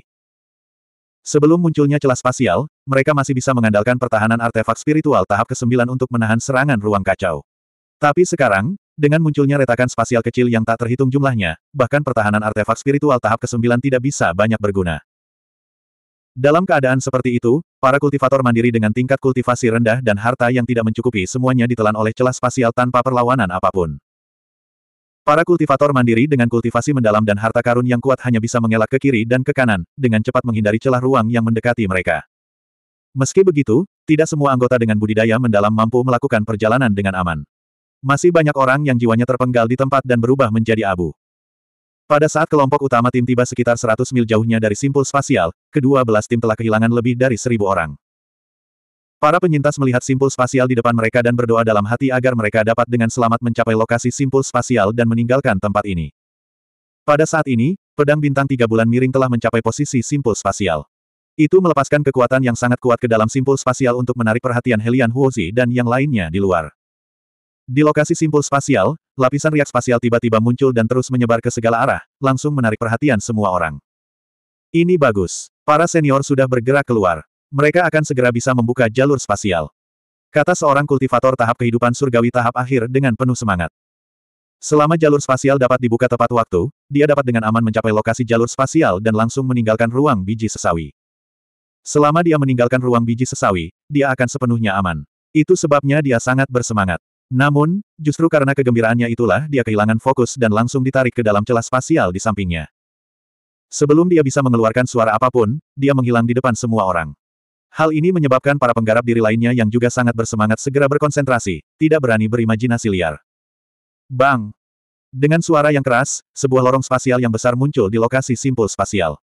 Hal ini menyebabkan para kultivator yang berada di dekatnya terbang lebih cepat. Setelah mengelak ke kiri dan ke kanan, beberapa orang di depan akhirnya berhasil mendekati jalur spasial. Kemudian, tanpa ragu-ragu, mereka terbang masuk dan meninggalkan ruang biji sesawi. Dalam waktu singkat, lebih dari 2.000 orang berhasil lolos. Tentu saja, selalu ada orang yang terus-menerus tertelan oleh keretakan spasial. Melihat orang-orang di depan mereka melarikan diri, orang-orang yang tersisa terbakar ketakutan. Mereka semua mempercepat, mencoba mendekati jalur spasial secepat mungkin. Lebih tergesa-gesa, lebih sedikit kecepatan. Dalam jarak pendek terakhir ini, kecepatan hilangnya orang meningkat pesat. Banyak orang tewas seketika karena kecemasan mereka. Ayo masuk ke jalur spasial. Dalam batas pertahanan, Luoping berteriak ke arah kerumunan. Kemudian, dia mengendalikan Bright Serenade Tracer Mirror untuk melindungi kerumunan saat mereka terbang ke jalur spasial. Kecepatan mereka sudah relatif lambat. Lagi pula, dengan begitu banyak orang yang mengendalikan batas pertahanan Bright Serenade Tracer Mirror, mustahil untuk mempercepatnya bahkan jika mereka menginginkannya. Saat mereka memasuki lorong spasial, suara yang menggemparkan bumi muncul dari seluruh ruang biji sesawi. Kekuatan luar biasa menyapu jalur spasial. Luo Ping dan yang lainnya berada dalam batas pertahanan Bright Serenade Tracer Mirror. Mereka terpesona oleh kekuatan ini. Seluruh batas pertahanan langsung hancur, dan semua orang jatuh tak terkendali. Untungnya, mereka telah meninggalkan ruang biji sesawi dan memasuki Laut Darah. Meski terjatuh, mereka dengan cepat menstabilkan tubuh mereka dan berdiri diam karena terkejut. Namun, mereka tidak lupa melepaskan batas pertahanan untuk menahan lintah darah di sekitar mereka. Bagaimanapun, kekuatan mereka sekarang telah rusak. Jika mereka ceroboh, lintah darah akan mengambil kesempatan itu untuk menyerang mereka. Pada saat ini, semua orang melihat ke bagian spasial. Mereka hanya bisa melihat aura yang sangat kuat memancar keluar dari jalur spasial. Bahkan saat berdiri di Laut Darah, mereka bisa merasakan getaran yang dahsyat. Para kultivator di belakang Luoping dan yang lainnya tidak bisa lagi keluar dari jalur spasial. Pada saat ini, jalur spasial telah runtuh sepenuhnya. Keretakan spasial yang besar telah muncul dan menelan semua orang. Untungnya, kita dilindungi oleh cermin harta karun tenang cerah milik Master Sekte. Kalau tidak, kita semua akan dikuburkan di ruang biji sesawi bersama orang-orang lainnya. Seorang tetua kultivator nakal dari Sekte Seratus Sungai berkata dengan rasa takut yang masih ada. Ketika yang lain mendengar ini, mereka mengangguk setuju. Saat-saat terakhir saja sudah menelan ribuan orang. Jika mereka tidak memiliki perlindungan Bright Serenade Tracer Mirror, mungkin hanya sebagian dari mereka yang bisa terbang lebih cepat. Kebanyakan dari mereka harus mengeluarkan upaya untuk melawan turbulensi spasial dan badai spasial. Kecepatan mereka tidak akan secepat sekarang. Dapat dikatakan bahwa mereka dapat lolos dari rahang kematian kali ini terutama karena Luoping. Hal ini membuat mereka semakin setia kepada Luoping. Meskipun jalur spasial terus-menerus bergetar, karena kekuatan ruang di Laut Darah sangat kuat, hal itu tidak terpengaruh oleh runtuhnya ruang biji sesawi. Selain gempa, Laut Darah tidak menunjukkan tanda-tanda keruntuhan. Hal ini menyebabkan semua orang terkejut. Mereka merasa Laut Darah bahkan lebih misterius. Pada saat ini, Helian Huochi dan Dewa Ilusi setengah langkah lainnya turun dari kehampaan di atas dan mendarat di posisi masing-masing. Masing-masing dari mereka memiliki ekspresi suram di wajah mereka. Hal ini tidak mengherankan. Ada lebih dari 40 ribu orang dalam operasi ini. Namun, mereka telah kehilangan setengahnya. Ini merupakan kerugian besar. Tim yang paling sedikit menderita kerugian adalah tim dari Sekte Seratus Sungai dan Sekte Konfusianisme Abadi. Ada anggota ras iblis di tim Sekte Seratus Sungai. Oleh karena itu, kedua kaisar iblis dari ras iblis tidak sesuram Dewa Ilusi setengah langkah lainnya. Jelas, Transit Star Monarch dan yang lainnya juga telah memperhatikan situasi tim dari Sekte Seratus Sungai dan Sekte Konfusianisme Abadi. Masing-masing dari mereka menoleh dan ekspresi suram di wajah mereka semakin dalam. Ayo pergi. Ayo tinggalkan Boundless Black Abyss dulu. Helian Huochi mengingatkan yang lainnya. Karena perburuan harta karun telah berakhir dan ruang benih sesawi telah runtuh, mereka tidak perlu tinggal lebih lama lagi. Bagaimanapun, mereka semua terluka parah. Sangat sulit bagi mereka untuk menolak lintah darah di dalam air darah. Jika mereka menunda terlalu lama, mereka mungkin akan kehilangan lebih banyak orang. Mendengar kata-kata Helian Huochi, Dewa Ilusi setengah langkah lainnya menganggukkan kepala. Setelah itu, Helian Huochi, Raja Bintang Awan Angin, dan Raja Bintang Bangau Petir mengeluarkan kapalnya masing-masing. Tentu saja, mereka sudah siap untuk ini, jadi mereka sudah menyiapkan rencana cadangan sebelumnya. Enam kapal baru muncul di kehampaan, dan kedua belas tim semuanya terbang masuk. Ayo pergi. Saat keenam kapal bersiap untuk terbang, air darah di Laut Darah mulai bergejolak dengan hebat, memicu gelombang besar. Gelombang air darah menghantam keenam kapal tersebut. Bahkan dengan kekokohan dan gravitasi kapal, mereka masih terguncang akibat benturan tersebut. Hal ini menyebabkan ekspresi semua orang berubah. Huo huo huo huo. Pada saat ini, tawa menyeramkan terdengar di seluruh laut darah. Di bawah tatapan heran semua orang, sebuah wajah besar muncul di atas mereka, menatap semua orang di enam kapal. Leluhur tua ini sudah lama menunggu kalian. Kalian akhirnya keluar. Huo huo huo. Wajah besar itu berkata kepada semua orang. Siapa kamu? Apakah Anda mencoba menahan kami di sini? Transit Star Monarch sudah dipenuhi amarah. Sekarang dia melihat wajah besar di atasnya, dia secara alami bertanya tanpa menahan diri. Huo Huo, aku adalah leluhur Laut Darah. Seluruh Laut Darah adalah wilayahku. Di tempat ini, aku adalah penguasa mutlak. Menjaga kalian di sini, Anda bisa mengatakannya seperti itu. Lebih tepatnya, saya ingin menyimpan harta Anda. Sedangkan kalian semua akan menjadi genangan air darah di Laut Darah ini. Wajah besar di atas berkata dengan nada eksentrik. Leluhur Laut Darah. 757. Aneh, mengapa Patriark Blood Sea tiba-tiba muncul? Mengapa aku tidak bertemu dengannya terakhir kali aku datang? Selanjutnya, ketika saya berada di lembah pedang suci, saya tidak menemukan catatan apa pun tentang Laut Darah Patriark di dalam buku. Secara logika, para ahli alam Mahayana dari berbagai sekte seharusnya bertemu dengan Laut Darah Patriark ketika mereka masuk. Jurang hitam tanpa batas seratus ribu tahun yang lalu. Mungkinkah Patriark Sea baru saja terbangun? Saya hanya tidak tahu pada tingkat apa kultivasinya. Aku bahkan tidak bisa merasakannya. Helian Huochi dipenuhi dengan keraguan yang kuat. Dapat dikatakan bahwa dia tidak tahu apa-apa tentang Patriark Sea. Dia bahkan tidak bisa merasakan tingkat kultivasi dan kekuatannya. Hanya ada satu penjelasan, tingkat budidaya Patriark Blood Sea jauh lebih tinggi daripada miliknya. Selain Helian Huochi, ahli Void Immortal setengah langkah lainnya juga bingung. Adapun Luoping dan teman-temannya, mereka terkejut saat melihat wajah raksasa di atas mereka. Meskipun wajah raksasa itu identik dengan ras manusia, tingginya ratusan kaki. Itu terlihat sangat aneh karena tergantung di kehampaan. Huff, kamu ingin menyimpan harta kami dan mengubah kami menjadi genangan darah. Mari kita lihat apakah kamu memiliki kemampuan untuk melakukannya. Meskipun mereka bingung dan terkejut, Helian Huochi dan rekan-rekannya tidak menunjukkan rasa takut saat mereka berteriak pada Patriark Sea. Ho ho, kamu akan segera tahu apakah aku punya kemampuan atau tidak. Bukankah kalian Dewa Sudo setengah langkah mengatakan bahwa kalian akan membersihkan lapisan keenam? Kenapa dia kembali setelah melewati wilayah kelima? Patriark Blutsi mengalihkan pandangannya ke Helian Huochi dan ahli Void Immortal setengah langkah lainnya saat dia berbicara dengan nada mengejek. Ketika Helian Huochi dan rekan-rekannya mendengar hal itu, wajah mereka dipenuhi amarah dan ketakutan. Bagaimanapun, mereka tahu dari kata-kata Patriark Blutsi bahwa percakapan mereka telah terdengar dengan jelas. Selain itu, mereka gagal menemukan keberadaan Patriark Blutsi. Inilah perbedaan kekuatannya. Jika Patriark Blutsi mengambil tindakan, mereka mungkin akan menderita. Dan situasi mereka seperti yang dikatakan Patriark Blutsi. Mereka sudah kekurangan kekuatan setelah melewati zona kelima. Sulit bagi mereka untuk terus membersihkan zona keenam, jadi yang bisa mereka lakukan hanyalah kembali ke zona lautan darah. Dan setelah mereka kembali ke wilayah lautan darah, mereka menunggu beberapa bulan. Mereka masih tidak menyadari bahwa ada laut darah patriark lainnya di wilayah lautan darah. Dapat dikatakan bahwa mereka telah hidup di bawah hidungnya selama berbulan-bulan. Memikirkan hal ini, Helian Huochi dan yang lainnya merasakan hawa dingin di punggung mereka. Mereka berkeringat dingin dan merasakan ketakutan yang belum pernah terjadi sebelumnya. Aku tidak pernah menyangka Patriark Bloodsi yang perkasa menjadi orang yang sangat tertutup. Kamu bahkan perlu bersembunyi di wilayahmu sendiri untuk menguping orang lain. Sepertinya tidak cocok dengan statusmu sebagai raja. Juga, alasan kenapa kamu tidak menyerang kami lebih awal mungkin karena kamu ingin menunggu semua tim berkumpul sebelum membunuh kami semua dalam satu gerakan, kan? Balas penguasa bintang transit. Hehehe, aku tidak muncul karena aku takut menakuti kalian semua. Dengan tingkat kultivasi kalian yang lemah, mengapa aku harus bersembunyi? Dulu ketika kamu berada di hutan duri, kamu pasti pernah bertemu dengan iblis tua Brambleton. Alasan kenapa dia membiarkanmu datang ke sini tidak lain adalah untuk memanfaatkanmu untuk mendapatkan harta karun di reruntuhan kuno. Kalian semua seharusnya melihat kekuatannya. Begitu kalian kembali, kalian semua pasti akan dibunuh olehnya. Karena kalian akan mati di hutan duri dan di sini, mengapa menyia-nyiakan upaya menakut-nakuti kalian semua? Sejujurnya, Old Demon Brambleton bukanlah tandinganku. Apa menurutmu kamu punya peluang untuk melawan? Kata-kata Patriark Bloodsi menunjukkan bahwa dia tidak memikirkan Transit Star Sovereign dan teman-temannya. Tidak hanya itu, dia bahkan secara langsung memberitahu semua orang bahwa tingkat budidayanya lebih tinggi dari Old Demon Brambleton. Transit Star Sovereign dan kawan-kawan tidak memiliki perlawanan di depan Old Demon Brambleton. Hal yang sama terjadi di depan Patriark Bloodsi.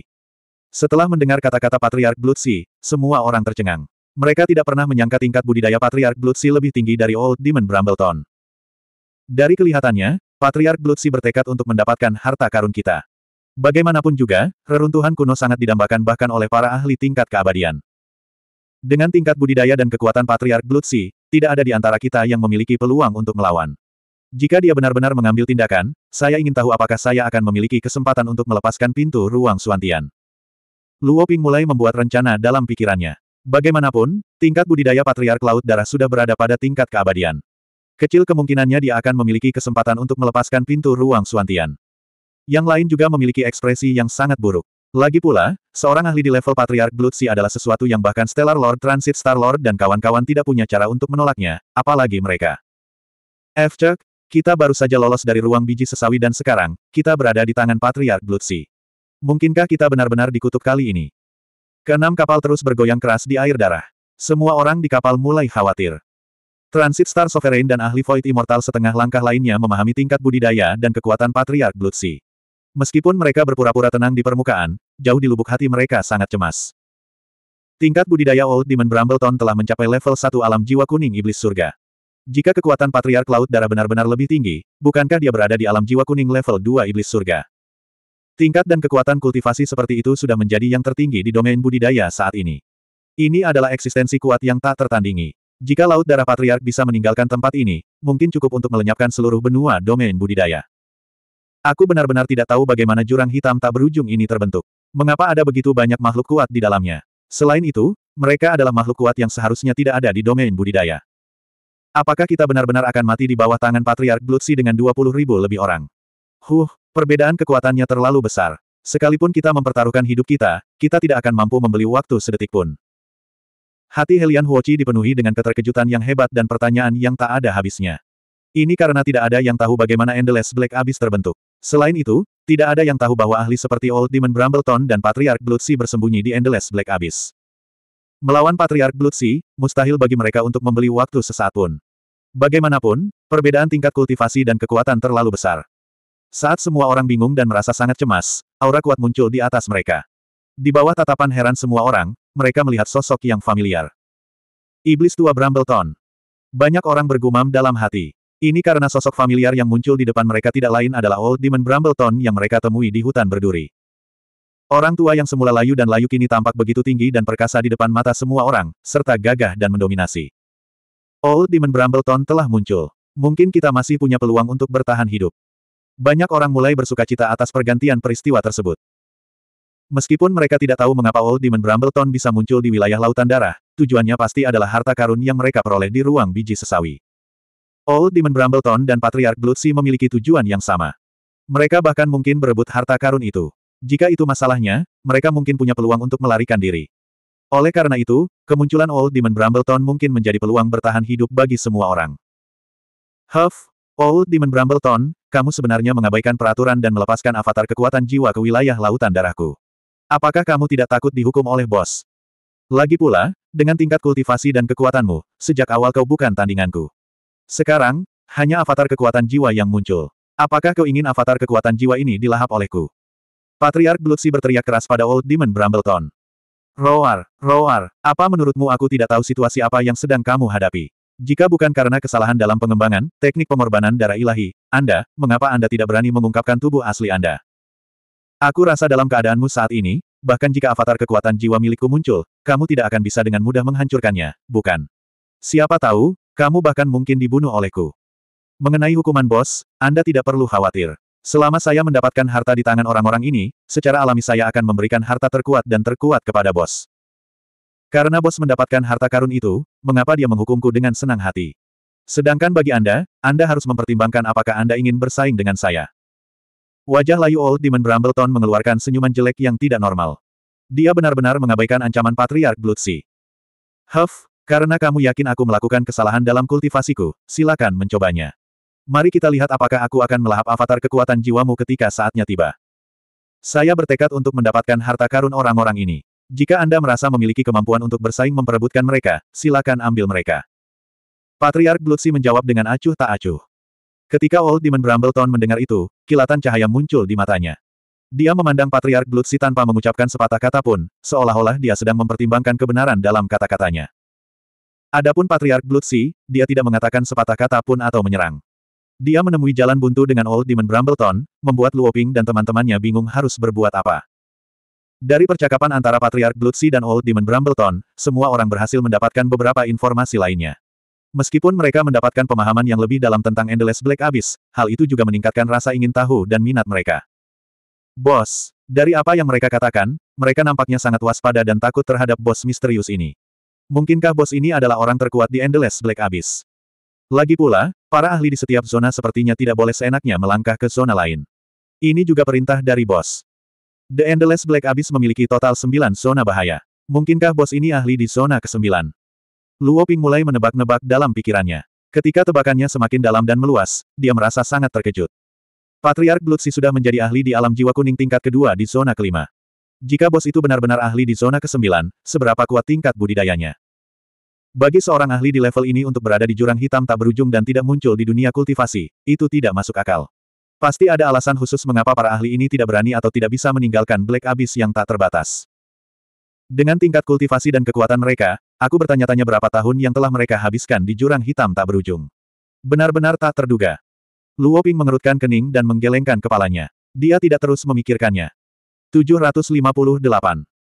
Roar, Patriark Bloodsea, kamu telah mengaku tanpa didesak. Kamu telah mengungkap fakta bahwa kamu melakukan kesalahan dalam kultivasimu. Namun, kamu dengan sengaja bertindak seolah-olah tidak terjadi apa-apa yang membuatku takut.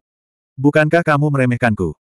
Jika tingkat kultivasi Anda tidak rusak, dengan emosi Anda, apakah Anda akan mengatakan begitu banyak omong kosong kepada saya? Anda mungkin sudah menghancurkan avatar kekuatan jiwa saya ini sejak lama. Kamu telah menahan diri selama ini karena kamu tidak mau bergerak dengan mudah. Kamu takut kamu tidak menjadi tandinganku dan akan dibunuh olehku, kan? Old Demoness Bramble sepertinya memahami segalanya saat dia berkata dengan sombong. Setelah mendengar analisis Old Demoness Bramble, wajah raksasa Patriark Bloodsi akhirnya berubah suram, seolah-olah dia telah terekspos. Huff, jadi bagaimana jika tebakanmu benar? Bahkan jika aku membuat kesalahan saat mengolah teknik pengorbanan darah ilahi, menyebabkan kekuatanku melemah, aku tetap bukan seseorang yang bisa kamu lawan. Lagi pula, yang muncul di sini hanyalah avatar kekuatan jiwamu. Alasan kenapa aku tidak bergerak adalah karena aku takut sekali kita bertarung, itu akan membuat khawatir orang-orang di wilayah lain. Jika orang-orang itu terlibat, bukankah kita akan memberikan harta itu kepada orang lain secara gratis? Ketika saatnya tiba, kita bahkan tidak akan mendapatkan satu harta pun. Bagaimana, jika kamu tidak takut membuat mereka khawatir, silakan saja. Aku tentu saja akan dengan senang hati menemanimu. Patriark Bloodsi tidak lagi bersembunyi dan langsung mengakui bahwa dia telah melakukan kesalahan dalam budidayanya. Namun, Alasan kenapa dia tidak bergerak bukan karena itu, tapi karena alasan lain. Ketika Old Demoness Bramble mendengar alasan Patriark Bloodsi, ekspresi sombongnya langsung berubah serius saat alisnya menyatu. Itulah mengapa sebaiknya kita tidak bergerak. Bukannya aku takut padamu, aku hanya tidak ingin kehilangan harta karun ini. Jika kita tidak membuat orang lain khawatir, harta ini akan dibagi di antara kita berdua. Jika kita membuat orang-orang itu khawatir, kita tidak akan mendapat apa-apa. Kamu bisa memutuskannya sendiri. Patriark Bloodsi melihat bahwa iblis wanita tua Bramble telah memahami niatnya dan terus mengingatkannya. Ya, apa yang kamu katakan masuk akal. Kita tidak bisa berperang, tapi jika tidak, bagaimana kita akan membagi harta ini? Di depan harta karun, apakah menurutmu kita berdua bisa dengan tenang membaginya? Atau apakah Anda bersedia membiarkan saya memilih harta karun itu terlebih dahulu? Meskipun Bramble Demon mengerti, dia masih tidak bisa memikirkan cara yang baik untuk membagi harta karun itu. Huh, harta karun itu ada tepat di depan kita. Tentu saja akan sulit untuk membaginya secara normal. Jika kita tidak bisa melihat harta karun itu, maka akan mudah untuk membaginya. Seperti yang Anda lihat, ada lebih dari 20 ribu orang di bawah sana. Kami tidak tahu harta apa yang mereka miliki, jadi kami cukup membagi jumlah orangnya. Dengan cara ini, harta apa yang kita peroleh akan bergantung pada keberuntungan kita. Itu tidak akan merusak persahabatan kita, dan kita tidak akan membuat orang lain khawatir. Bukankah ini membunuh dua burung dengan satu batu? Patriark Bloodsi menjelaskan metodenya. Mendengar ini, Bramble Demon berpikir sejenak, lalu mengangguk dengan berat. Hem, apa yang kamu katakan masuk akal. Kalau begitu ayo kita lakukan seperti ini. Kita berdua akan membagi rampasannya. Itu lebih baik daripada memperingatkan orang lain dan tidak bisa mendapatkan harta karun itu. Demones Bramble setuju dengan saran Patriark Bloodsi dan setuju untuk berbagi orang-orang di bawahnya dengannya. Meskipun dia benar-benar ingin memonopoli harta karun itu, itu seperti yang dikatakan pihak lain. Begitu pertempuran dimulai, itu pasti akan membuat khawatir orang-orang dari daerah lain. Ketika saatnya tiba, dengan tingkat kultivasi dan kekuatan mereka, mereka mungkin tidak akan bisa mendapatkan satu pun harta karun. Setelah mempertimbangkan pro dan kontra, dia hanya bisa memilih metode yang ada di hadapannya. Hal yang sama juga terjadi pada Patriark Bloodsi. Setelah keduanya selesai berdiskusi, mereka mengarahkan pandangan mereka ke kerumunan di bawah. Ketika Luoping dan kawan-kawan merasakan empat tatapan di atas mereka, semuanya gemetar saat kengerian muncul di wajah mereka. Mereka awalnya membayangkan bahwa Bramble Demon dan Patriark Bloodsi akan bertarung, tapi sekarang, setelah pertarungan kata-kata, kedua belah pihak memilih untuk menyelesaikan masalah ini secara damai. Dan metode ini adalah dengan membagi mereka. Terlepas dari siapa yang membaginya, mereka mungkin akan mati di tangan pihak lain. Bagaimana mungkin mereka tidak merasa ngeri? F. Chuck, kenapa kedua monster tua ini begitu pengecut? Mereka sebenarnya memilih menyelesaikan masalah dengan damai. Pengecut sekali. Luoping mengutuk dalam hati. Melihat kedua monster tua di atas tidak bertarung, Luoping secara alami mengalami depresi. Jika itu terjadi, akan semakin sulit baginya untuk menggunakan ruang pintu Suantian. Persetan, aku harus mencobanya, apa pun yang terjadi. Mungkin ada peluang untuk bertahan hidup dengan bersembunyi di dalam pintu Suantian. Jika aku tidak bersembunyi, aku benar-benar akan dikutuk. Dalam sekejap, Luoping mengambil keputusan. Pada saat itu, iblis berambel iblis dan laut darah patriark telah melepaskan aura penekan mereka yang kuat. Itu menyebar ke Luoping dan teman-temannya. Semua orang merasa seolah-olah langit sedang runtuh. Tekanan tersebut membuat mereka menekuk tubuh tak terkendali. Tidak peduli bagaimana mereka mengedarkan kekuasaannya, itu sia-sia. Melihat tekanan yang meningkat pesat, banyak kultivator dengan tingkat kultivasi yang lebih rendah tidak dapat lagi bertahan dan berlutut. Saat mereka yang memiliki tingkat kultivasi lebih tinggi hendak berlutut, kekuatan yang lebih kuat tiba-tiba muncul di atas laut darah. Saat kekuatan yang bahkan lebih kuat ini muncul, ia segera menghancurkan aura penekan iblis Bramble Demon dan Laut Darah Patriark, membebaskan semua orang dari aura penekan tersebut. Setelah dibebaskan, semua orang masih sok. Saat mereka dengan cepat memulihkan kekuatan mereka, mereka juga dipenuhi rasa ingin tahu terhadap kekuatan dahsyat yang tiba-tiba muncul. Mereka tidak tahu siapa yang akan menyelamatkan mereka di Black Abyss yang tak ada habisnya. Terlebih lagi, kekuatan orang ini jelas jauh lebih kuat daripada iblis Bramble Iblis dan Laut Darah Patriark. Saat semua orang bingung, sebuah suara tua dan dalam terdengar dari kehampaan di atas laut darah. Apakah kalian berdua berencana menentang perintah bos? Huff, apakah kamu sudah melupakan kemampuan bos? Apakah Anda pikir Anda bisa menyembunyikan apa yang terjadi di Blood Sea dari bos? Kamu terlalu memikirkan dirimu sendiri. Bos bilang dia ingin kamu melepaskan antek-antek ini di bawah. Jika kamu tidak mendengarkan, aku akan membunuhmu. Suara orang tua itu dingin dan tanpa emosi. Itu penuh dengan interogasi dan menyalahkan. Akhirnya, ini menjadi ancaman yang jelas. Apa, bos sudah tahu apa yang terjadi di sini? Itu benar. Dengan tingkat dan kekuatan kultivasi bos, bagaimana kita bisa menyembunyikan apa yang terjadi di sini darinya? Kita terlalu bersemangat untuk merebut harta karun sehingga kita mengabaikan masalah ini. Kata Demones Bramble Demon dengan ekspresi ngeri. Monster tua pasir, kenapa bos ingin kita melepaskan antek-antek ini? Dia seharusnya tidak memiliki hubungan apa pun dengan orang-orang ini, bukan? Orang-orang ini keluar dari reruntuhan kuno untuk mencari harta karun. Mereka pasti mendapatkan banyak harta karun. Mereka bahkan mungkin memiliki banyak artefak abadi. Kita telah terjebak dalam Black Abyss yang tak berujung ini selama hampir 10 juta tahun. Tidak mudah bagi kita untuk mendapatkan kesempatan sebaik itu. Bagaimana kita bisa melewatkannya? Patriark Bloodsi jelas tidak mau menyerah begitu saja saat dia mempertanyakan kehampaan. Bagaimana saya tahu apa yang dipikirkan bos? Namun, saya akan melaksanakan keputusan bos tanpa syarat. Jika Anda tidak mau melepaskan orang-orang ini, saya hanya bisa mengambil tindakan. Suara lama itu terdengar sekali lagi, dan bahkan lebih tajam dan dingin dari sebelumnya. Ketika Patriark Bloodsi mendengar itu, wajah besarnya tampak sangat jengkel. Dengan lembut bergetar dua kali dalam kehampaan sebelum perlahan menghilang. Karena bos sudah memberi perintah, beraninya aku tidak menaatinya. Aku akan melepaskan mereka sekarang. Suara Patriark Bloodsi terdengar dari atas. Kalau begitu aku akan pergi juga. Saat orang-orang ini memasuki hutan duri, aku pasti tidak akan mengambil tindakan. Demones Bramble Demon memberinya jaminan dan hendak meninggalkan wilayah Laut Darah. Tunggu, Iblis Bramble Iblis. Larutkan racun pada orang-orang ini terlebih dahulu. Kalau tidak, apa gunanya membiarkan mereka pergi? Mereka pada akhirnya akan tetap mati karena racun itu. Suara tua yang asing itu berbicara lagi. Wajah Demones Bramble Demon berubah cemberut ketika dia mendengar itu. Dia memandang Luoping dan teman-temannya dengan ekspresi tak berdaya. Setelah itu, dia melepaskan kekuatan dari tubuhnya yang langsung menyelimuti semua orang di enam kapal. Di bawah selubung kekuatan tersebut, setetes cairan hitam terbang keluar dari masing-masing tubuh mereka sebelum berkumpul di tubuh iblis Bramble Demon sebelum diserap ke dalam tubuhnya. Selanjutnya, Demones Bramble Demon menarik kekuatannya dan mengucapkan selamat tinggal pada Old Monster Sen di ruang hampa sebelum menghilang dari wilayah Laut Darah. Para antek di bawah, kamu boleh pergi sekarang. Mereka tidak akan mempersulitmu lagi. Kata monster tua pasir kepada Luoping dan teman-temannya. Meski mereka disebut antek beberapa kali oleh monster pasir tua, tak satu pun dari mereka yang merasa tidak senang. Bagaimanapun, budidaya Old Monster Sen ada di sana untuk dilihat semua orang. Selain itu, dia telah menyelamatkan nyawa mereka. Senior, terima kasih telah menyelamatkan kami. Bolehkah saya tahu siapa bos yang Anda sebutkan? Kami bisa berterima kasih padanya. Setelah Helian Huozi mengungkapkan rasa terima kasihnya atas kekosongan tersebut, dia bertanya lagi. Lagi pula, dia juga sangat penasaran dan tertarik pada bos misterius itu. Dia ingin mengetahui identitas pihak lain. Kamu tidak perlu mengetahui identitas bos. Sekalipun kamu mengetahuinya, kamu tidak akan mengenalnya. Mengapa repot-repot? Kamu harus segera pergi. Tinggal di sini terlalu lama tidak akan ada gunanya bagimu. Setelah Old Monster Sen selesai berbicara, kekuatan di atas menghilang seketika. Pada saat itu, semua orang mengerti bahwa monster pasir tua telah pergi. Ayo pergi. Keenam kapal tersebut segera terbang dan mulai meninggalkan wilayah Laut Darah. Meski laut darah leluhur tidak lagi menyerang, lintah darah masih ada di sana. Oleh karena itu, semua orang masih perlu menahan serangan lintah darah. Namun, semua orang kini telah menguasai metode untuk melawan, jadi sangat mudah untuk menghadapinya. Segera, mereka meninggalkan wilayah laut darah dan memasuki wilayah jiwa mati.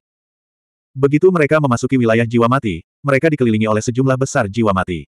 Mereka tidak punya pilihan selain berhenti terbang. Di seluruh area undet, sejauh mata memandang, undet yang tak terhitung jumlahnya telah berkumpul. Itu seperti tembok perisai yang tebal. Bahkan jika enam pesawat luar angkasa ingin menerobos, mereka tidak akan mampu melakukannya. 759. Luo Ping berdiri di atas kapal perang dan merasakan tatapan mata yang tak terhitung jumlahnya di sekelilingnya. Tentu saja, dia tahu apa maksud orang-orang ini, jadi dia langsung melepaskan Tuan Muda Roh Mati. Segera setelah versi mini dari Roh Mati muncul, Roh Mati di kejauhan semuanya menunjukkan ekspresi keprihatinan, dan senyuman mereka di wajah mereka. Tuan Muda Roh Mati juga sangat senang saat melihat Roh Mati di kejauhan. Dia segera melompat-lompat dan hendak terbang ke seberang. Namun, suatu kekuatan langsung memenjarakannya, membuatnya tidak mungkin bergerak sama sekali. Dia hanya bisa melihat ke depan dengan wajah penuh keluhan. Jika kamu ingin kami melepaskannya, kenapa kamu tidak cepat-cepat membuat jalan untuk kami lewati? Selama kita mencapai tepi seberang, secara alami aku akan melepaskan si kecil ini. Luo Ping berkata kepada pasukan roh mati di seberang. Mendengar kata-kata Luo Ping, roh mati di seberang tidak bergerak sama sekali. Mereka masih berkumpul di sana seperti batu-batu besar, tetapi mata mereka menjadi lebih khawatir ketika mereka melihat ke arah Tuan Muda Roh Mati. Jangan khawatir, maksudku apa yang aku katakan. Jika aku berkata aku akan melepaskannya, aku akan melepaskannya. Namun, jika kamu tidak memberi jalan, aku tidak akan ragu untuk membunuhnya. Melihat pasukan roh mati di sisi berlawanan tidak bergerak, Luo Ping berkata dengan wortel dan tongkat.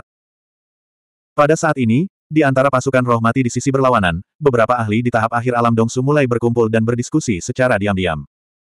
Setelah beberapa saat, salah satu roh mati berkata, Huh, sebaiknya kamu tidak melakukan trik apa pun. Jika tidak, bahkan jika kamu meninggalkan area roh mati, kamu bisa melupakan meninggalkan Black Abyss yang tak terbatas. Nada bicara pakar roh mati itu penuh dengan ancaman. Setelah dia selesai berbicara, dia menoleh ke samping.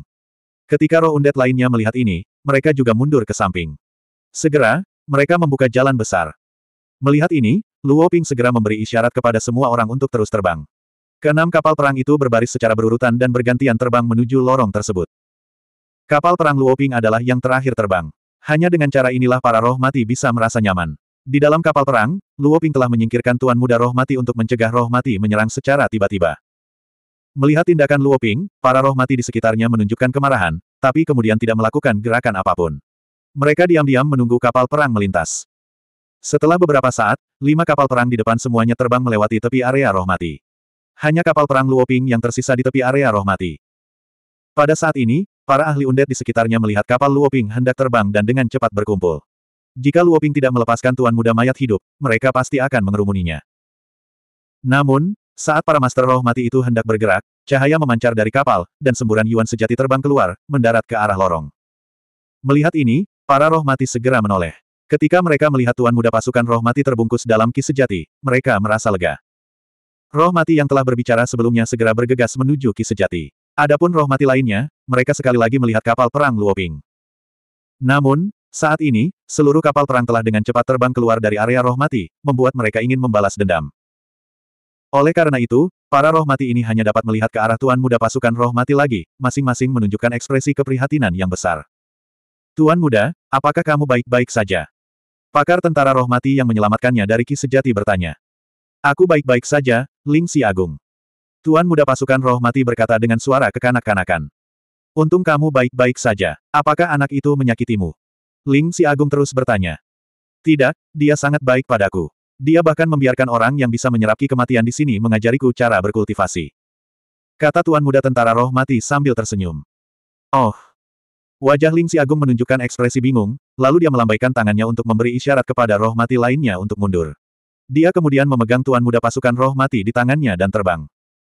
Tuan Muda, sebaiknya saya mengirim Anda kembali ke Menara Roh Mati dan membantu Anda meningkatkan kultivasi Anda sesegera mungkin.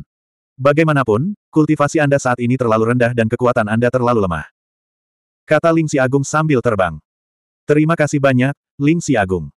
Tuan Muda pasukan roh mati berkata dengan suara kekanak-kanakan. Segera, sosok keduanya menghilang ke dalam ki kematian, dan seluruh area roh mati kembali ke keadaan tenang. Setelah enam kapal perang memasuki hutan berduri, mereka tidak menemukan monster tua burung Bramble. Namun, para ahli dari tiga kamar dagang tetap mengendalikan kapal perang tersebut untuk melaju kencang. Duri-duri kecil itu tidak lagi menjadi ancaman bagi mereka, sehingga mereka segera meninggalkan hutan berduri tersebut. Akhirnya, mereka dengan selamat melewati area gravitasi dan sepenuhnya meninggalkan Black Abyss yang tak terbatas. Setelah meninggalkan kawasan gravitasi, keenam kapal perang tersebut masih terbang dengan kecepatan tinggi. Bagaimanapun, ruang di depan mereka masih gelap dan masih dipengaruhi oleh Black Abyss yang tak terbatas. Hanya ketika mereka telah benar-benar meninggalkan area gelap barulah mereka memperlambat kapal perang mereka. Di kapal perang, semua orang melihat ke arah Black Abyss yang tak terbatas, dipenuhi rasa ingin tahu yang tak ada habisnya. Di masa depan, ketika saya menjadi ahli panggung kendaraan hebat, saya pasti akan menjelajahi tempat ini sendirian dan melihat apa yang ada di beberapa area berbahaya berikutnya. Luoping membuat keputusan dalam hatinya. Penjelajahan kita terhadap reruntuhan kuno kali ini telah berakhir. Meski kita kehilangan banyak orang, saya yakin semua orang telah mendapatkan sesuatu. Sekarang, mari kita berkumpul di markas besar kamar dagang Starmoon, Pulau Starmoon. Setelah mengambil potongan harta karun, semua orang dapat kembali ke sekte masing-masing. Di kapal perang, Raja Sejati Bangok Guntur berkata kepada semua orang. Bagaimanapun, lokasi reruntuhan kuno ditemukan oleh Helian Huosi. Jika semua orang ingin masuk untuk mencari harta karun, membeli tempat saja tidak cukup. Setelah mencari harta karun, mereka masih perlu mengambil sebagian dari harta karun itu dan memberikannya kepada kamar dagang Starmoon. Itu akan dihitung sebagai potongan untuk kamar dagang Starmoon. Jumlah pemotongan telah disepakati sebelumnya dan semua orang telah menerimanya. Oleh karena itu, ketika mereka mendengar kata-kata Raja Sejati Bango Guntur, tidak ada seorang pun yang keberatan. Makanya, keenam kapal perang itu kembali terbang menuju kawasan laut. Setelah terbang beberapa lama, mereka akhirnya sampai di Pulau Starmoon. Di Pulau Starmoon, setelah sekian lama pendistribusiannya, semua orang akhirnya menyelesaikan proses pengambilan. Kemudian, mereka meninggalkan Pulau Star Moon satu persatu dan mengambil susunan teleportasi untuk kembali ke sekte masing-masing. Meskipun berbagai sekte menderita kerugian besar dalam penjelajahan reruntuhan kuno ini, mereka masih memperoleh banyak harta karun. Itu bukanlah perjalanan yang sia-sia. Kami akan pergi juga. Luoping berkata kepada orang-orang dari Sekte Seratus Sungai dan Sekte Konfusianisme Abadi. Pemimpin Sekte Luo, kalau begitu kita akan berpisah di sini. Tapi Senior Sun Yu. Seorang tetua dari Sekte Konfusianisme Abadi berkata dengan ragu-ragu. Jangan khawatir. Dia seharusnya baik-baik saja di Revolving Starry Sky Chart. Setelah aku menyempurnakan grafiknya, dia akan dibebaskan. Kata Luo Ping. Kalau begitu kita harus merepotkan pemimpin Sekte Luo. Selamat tinggal. Setelah tetua itu selesai berbicara, dia memimpin orang-orang dari Sekte Konfusianisme Abadi ke dalam susunan teleportasi dan meninggalkan Pulau Star Moon. Kemudian, Luo Ping memimpin orang-orang dari Sekte Seratus Sungai ke dalam susunan teleportasi. Hanya anggota kamar dagang Star Moon yang tersisa di Pulau Star Moon. Yuer, kakakmu masih berada di Revolving Starry Sky Chart. Jangan mengasingkan diri untuk saat ini. Saat kakakmu kembali, temui aku bersama. Saya tiba-tiba mendapat firasat buruk. Tampaknya alam budidaya akan segera menghadapi bencana lain. Tingkat bahayanya pasti tidak akan kalah dengan perang antara tiga ras. Saya tidak yakin kapan tepatnya bencana ini terjadi. Namun, kita harus bersiap terlebih dahulu. Oleh karena itu, saya berencana untuk secara pribadi membantu Anda dan kakak laki-laki Anda meningkatkan kultivasi Anda. Setelah membubarkan anggota lainnya, Helian Huochi berkata kepada Gong Ziyu. Sebuah bencana. Ayah, apakah kamu yakin tidak salah? Bencana macam apa yang bisa sekuat perang antara tiga ras? Kecuali jika itu adalah hukuman surgawi seperti pada zaman dahulu. Namun, energi spiritual langit dan bumi di alam budidaya telah melemah. Kekuatan berbagai sekte jauh lebih lemah dibandingkan dengan zaman kuno, atau bahkan zaman kuno. Hukuman surgawi seharusnya tidak muncul. Gong Ziyu berkata dengan tidak percaya. Hukuman surgawi. Ya, saya tidak menyangka zaman dahulu yang makmur akan dihancurkan oleh hukuman surgawi. Sayang sekali. Saya juga berharap saya salah. Namun, tetap perlu melakukan persiapan sejak dini. Seperti kata pepatah, pahlawan lahir di masa sulit. Banyak sekali orang jenius di generasi kultivator Anda. Sepertinya. Helian Huochi berkata lagi. Aku mengerti. Ayah, aku akan menunggu kakak kembali dan mencarimu bersamanya. Gong Ziyu setuju. Helian Huochi mengangguk dan menghilang ke dalam kehampaan. Gong Ziyu berdiri diam sejenak sebelum kembali ke kediamannya. Di Sekte Seratus Sungai. Setelah Luoping dan yang lainnya kembali, mereka segera membawa Ni Yue ke ruang rahasia. Adapun yang lainnya, mereka tidak ragu untuk kembali ke tempat budidaya mereka sendiri. Kali ini, mereka telah memperoleh harta dalam jumlah besar. Secara alami, mereka akan mempelajarinya dengan cermat dan meningkatkan kekuatan kultivasi mereka. Setelah Luoping dan Ni Yue memasuki ruang rahasia, Luoping membawa Ni Yue ke gerbang surga di gerbang surga Suan. Yuer, pertama-tama berkultivasilah di dekat pembuluh darah spiritual yang menentang surga. Setelah aku menyempurnakan bagan bintang berputar bintang, aku akan mengaktifkan percepatan waktu gerbang surga. Luo Ping berkata pada Ni Yue. Baiklah saya mengerti. Setelah menjawab, Ni Yue mendekati pembuluh darah spiritual yang menentang surga dan mulai berkultivasi. Adapun Luo Ping, dia mengeluarkan Star Revolving Star Chart dan mulai memperbaikinya. Bagaimanapun, bagan ini adalah senjata abadi. Memperbaikinya akan sulit. Oleh karena itu, dia memilih untuk memurnikannya di gerbang surga. Ada banyak orang dari Sekte Seratus Sungai di Star Revolving Star Chart. Di antaranya adalah Immortal Huang Su, Immortal Qian, Ji Fei Yang, Kong Ming Duo dan lainnya yang dekat dengan Luoping. Tentu saja, dia ingin menyempurnakan grafik ini sesegera mungkin. Adapun para ahli dari sekte lain, Luoping secara alami akan melepaskan mereka setelah menyempurnakan Star Revolving Star Chart. Lagi pula, tidak ada gunanya membiarkan mereka tetap hidup. Selama proses penyempurnaan Luoping, Starry Sky Chart tidak menunjukkan tanda-tanda perlawanan pada awalnya. Namun, di tengah proses penyempurnaan, sepertinya roh artefak di dalamnya menolak. Namun perlawanannya sangat lemah. Luoping secara alami tahu bahwa ini karena roh senjata dari Star Revolving Star Chart telah terluka parah. Oleh karena itu, dia meningkatkan kekuatan penyempurnaannya dan dengan cepat menekan resistensi roh senjata tersebut. Setelah itu penyempurnaan berjalan relatif lancar. Meski begitu, dia masih membutuhkan waktu satu hari penuh untuk menyelesaikan penyempurnaannya. 760. Starry Sky Chart ditangguhkan dalam kehampaan. Dengan satu pemikiran, Luoping melepaskan semua orang dari Starry Sky Chart, dan mereka semua mendarat di tanah. Ketika orang-orang ini muncul, wajah mereka dipenuhi keraguan. Ketika mereka melihat sekelilingnya, kebanyakan dari mereka terkejut. Ini adalah aula segudang aliran dari Sekte Ilahi Seratus Sungai. Itu berarti kita keluar dari Revolving Starry Sky Chart. Itu hebat. Ini benar-benar aula segudang arus. Haha, kita aman sekarang. Kupikir kita akan mati kelelahan di sana. Ini adalah aula segudang arus. Mungkinkah para pemburu harta karun telah meninggalkan jurang hitam tanpa batas dan kembali ke domain budidaya? Master Sekte, apakah kamu yang membebaskan kami? Mungkinkah Anda memperoleh Revolving Starry Sky Chart? Banyak orang berkata dengan gembira. Lagi pula, mereka sangat beruntung bisa keluar dari Revolving Starry Sky Chart. Ji Fei yang melihat sosok Luo Ping berdiri di depan mereka dan segera memikirkan poin kuncinya. Oleh karena itu, dia bertanya.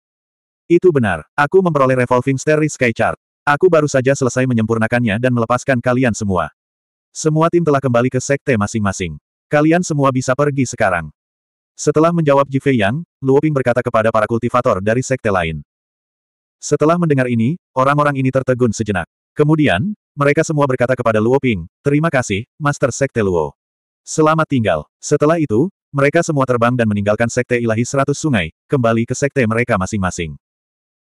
Sun Yu dari Sekte Konfusianisme Abadi mengobrol dengan Luo Ping lebih lama sebelum terbang bersama beberapa orang lain dari sektenya. Sekte Master, saya tahu Anda akan mendapatkan Revolving Starry Sky Chart. Saya tidak menyangka akan begitu. Ngomong-ngomong, Master Sekte, apa yang terjadi setelah itu? Saat kalian semua kembali, bukankah kalian dihentikan oleh iblis burung Bramble? Kepala game bertanya pada Luo Ping. Setelah mendengar ini, Luo Ping menggunakan kekuatan spiritualnya untuk menyuntikkan situasi setelah dia meninggalkan Revolving Starry Sky Chart ke dalam laut spiritual semua orang. Setelah semua orang membaca informasinya, mereka semua terkejut. Setelah beberapa saat, wajah semua orang dipenuhi ketakutan. Oh tidak, karena kita berada di Star Sky Chart, kita belum memiliki Bramble Demon untuk menetralisir racun pada kita. Begitu waktunya habis, bukankah kita akan mati karena racun itu? Monster bermata hijau berkata dengan cemas. Benar, dengan kekuatan iblis Bramble, racun yang dikeluarkannya pasti sangat kuat. Aku khawatir kita tidak akan bisa menetralisirnya. Tetua lainnya juga memasang ekspresi pahit di wajahnya. Jelas sekali bahwa orang-orang ini khawatir akan teracuni oleh racun iblis Bramble. Jangan khawatir, racun-racun ini tidak akan merenggut nyawamu. Saya dapat membantu Anda menetralisirnya. Pada saat ini, suara Luoping terdengar, langsung membuat semua orang terkejut sejenak. Kemudian, mereka semua tersenyum. Pemimpin sekte, kamu tidak bercandakan. Bisakah kamu benar-benar menetralkan racun iblis Bramble? Bukannya kamu tidak tahu apa yang mampu dilakukan pemimpin sekte. Dia punya metode yang tak ada habisnya. Saya pikir dia bisa menetralisirnya. Ya, saya juga percaya bahwa pemimpin sekte tidak bercanda. Jika itu masalahnya, maka kita tidak perlu mati. Haha, bagus sekali. Kekhawatiran di hati orang-orang ini terhapuskan. Mereka semua memandang Luoping dengan penuh semangat. Duduklah di tempatmu sekarang. Aku akan membantumu menetralisir racun iblis Bramble sekarang. Luoping memahami niat mereka dan berkata.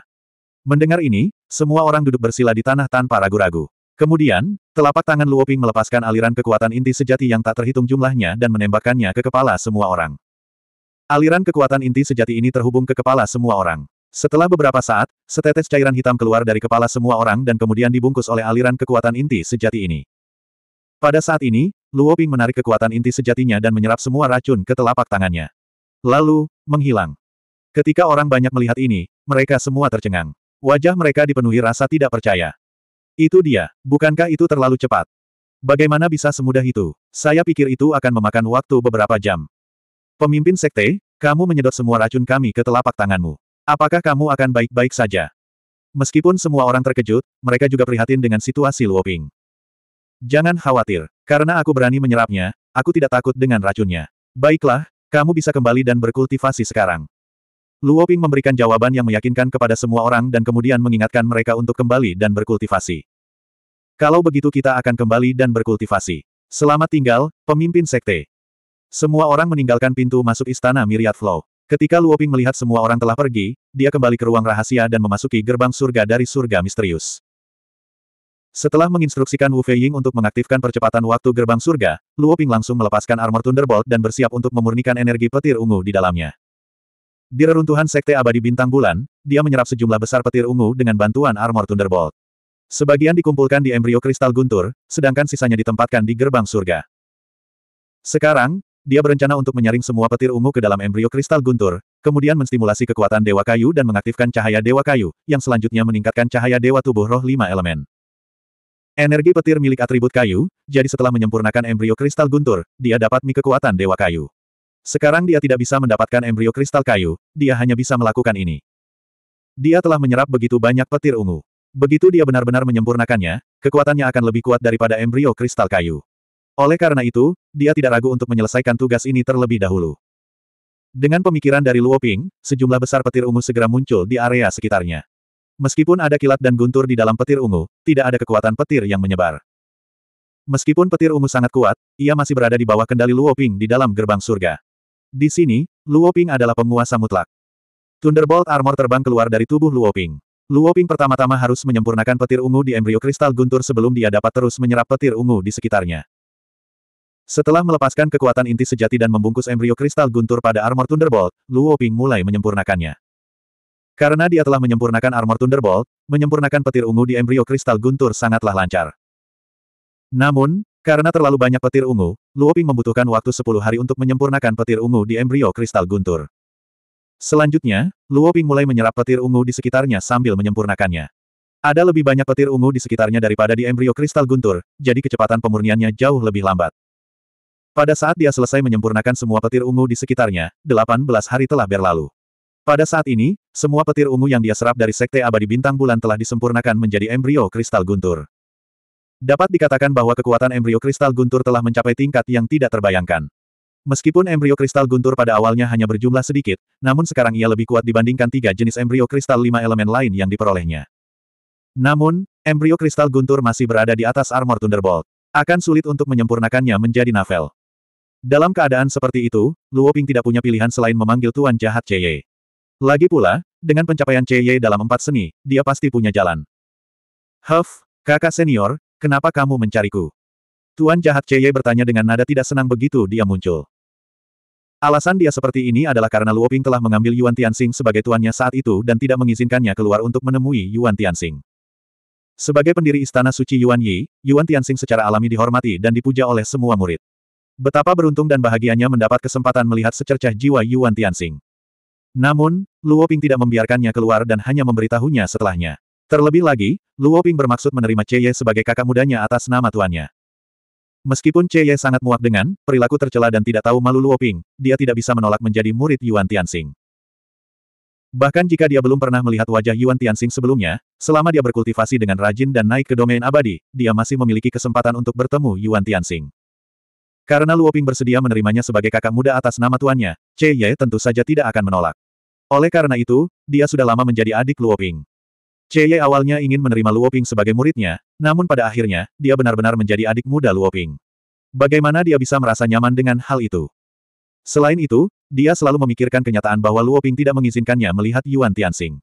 Oleh karena itu, sikapnya terhadap Luo Ping tidak pernah baik sejak saat itu. Luo Ping hanya tersenyum tipis saat melihat sikap Che Ye. Dia tidak memasukkannya ke dalam hati. Saudara muda Cheye, saya memanggil Anda ke sini karena saya membutuhkan bantuan Anda dalam sesuatu. Saya yakin Anda akan tahu bagaimana menghadapinya dengan pencapaian Anda dalam empat seni.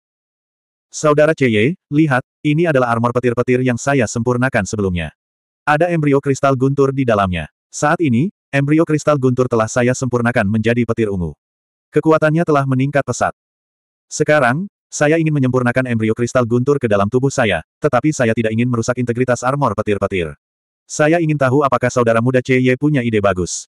Luo Ping bertanya dengan senyum jahat di wajahnya. Jangan terus memanggilku adik muda. Seolah-olah kamu takut orang lain tidak tahu bahwa aku adalah adik mudamu. Kamu membuatku sangat tidak bahagia.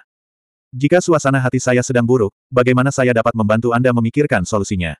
Juga, karena kamu adalah kakak seniorku, bagaimana masalah sekecil ini bisa membuatmu bingung? Cheye sangat tidak puas dengan Luo Ping yang memanggilnya kakak muda. Nada suaranya terdengar seperti pertengkaran istri kecil. Baiklah, kakak muda Cheye. Aku akan berusaha sebaik mungkin untuk tidak memanggilmu kakak muda Cheye. Seperti kata pepatah, setiap orang punya spesialisasinya masing-masing. Bagaimana saya bisa dibandingkan dengan Anda dalam hal pencapaian dalam empat seni? Meskipun kamu adalah kakak mudaku, aku masih memiliki banyak hal untuk dipelajari darimu. Di masa depan, kita perlu berkomunikasi satu sama lain dan maju bersama. Ngomong-ngomong, kamu mungkin bisa dengan cepat menaikkan level 4 seni ke level master abadi setelah pertukaran kita. Dengan begitu, kamu bisa dikatakan sebagai orang pertama setelah Master Tianxing sejak berdirinya Istana Suci Yuan Yi.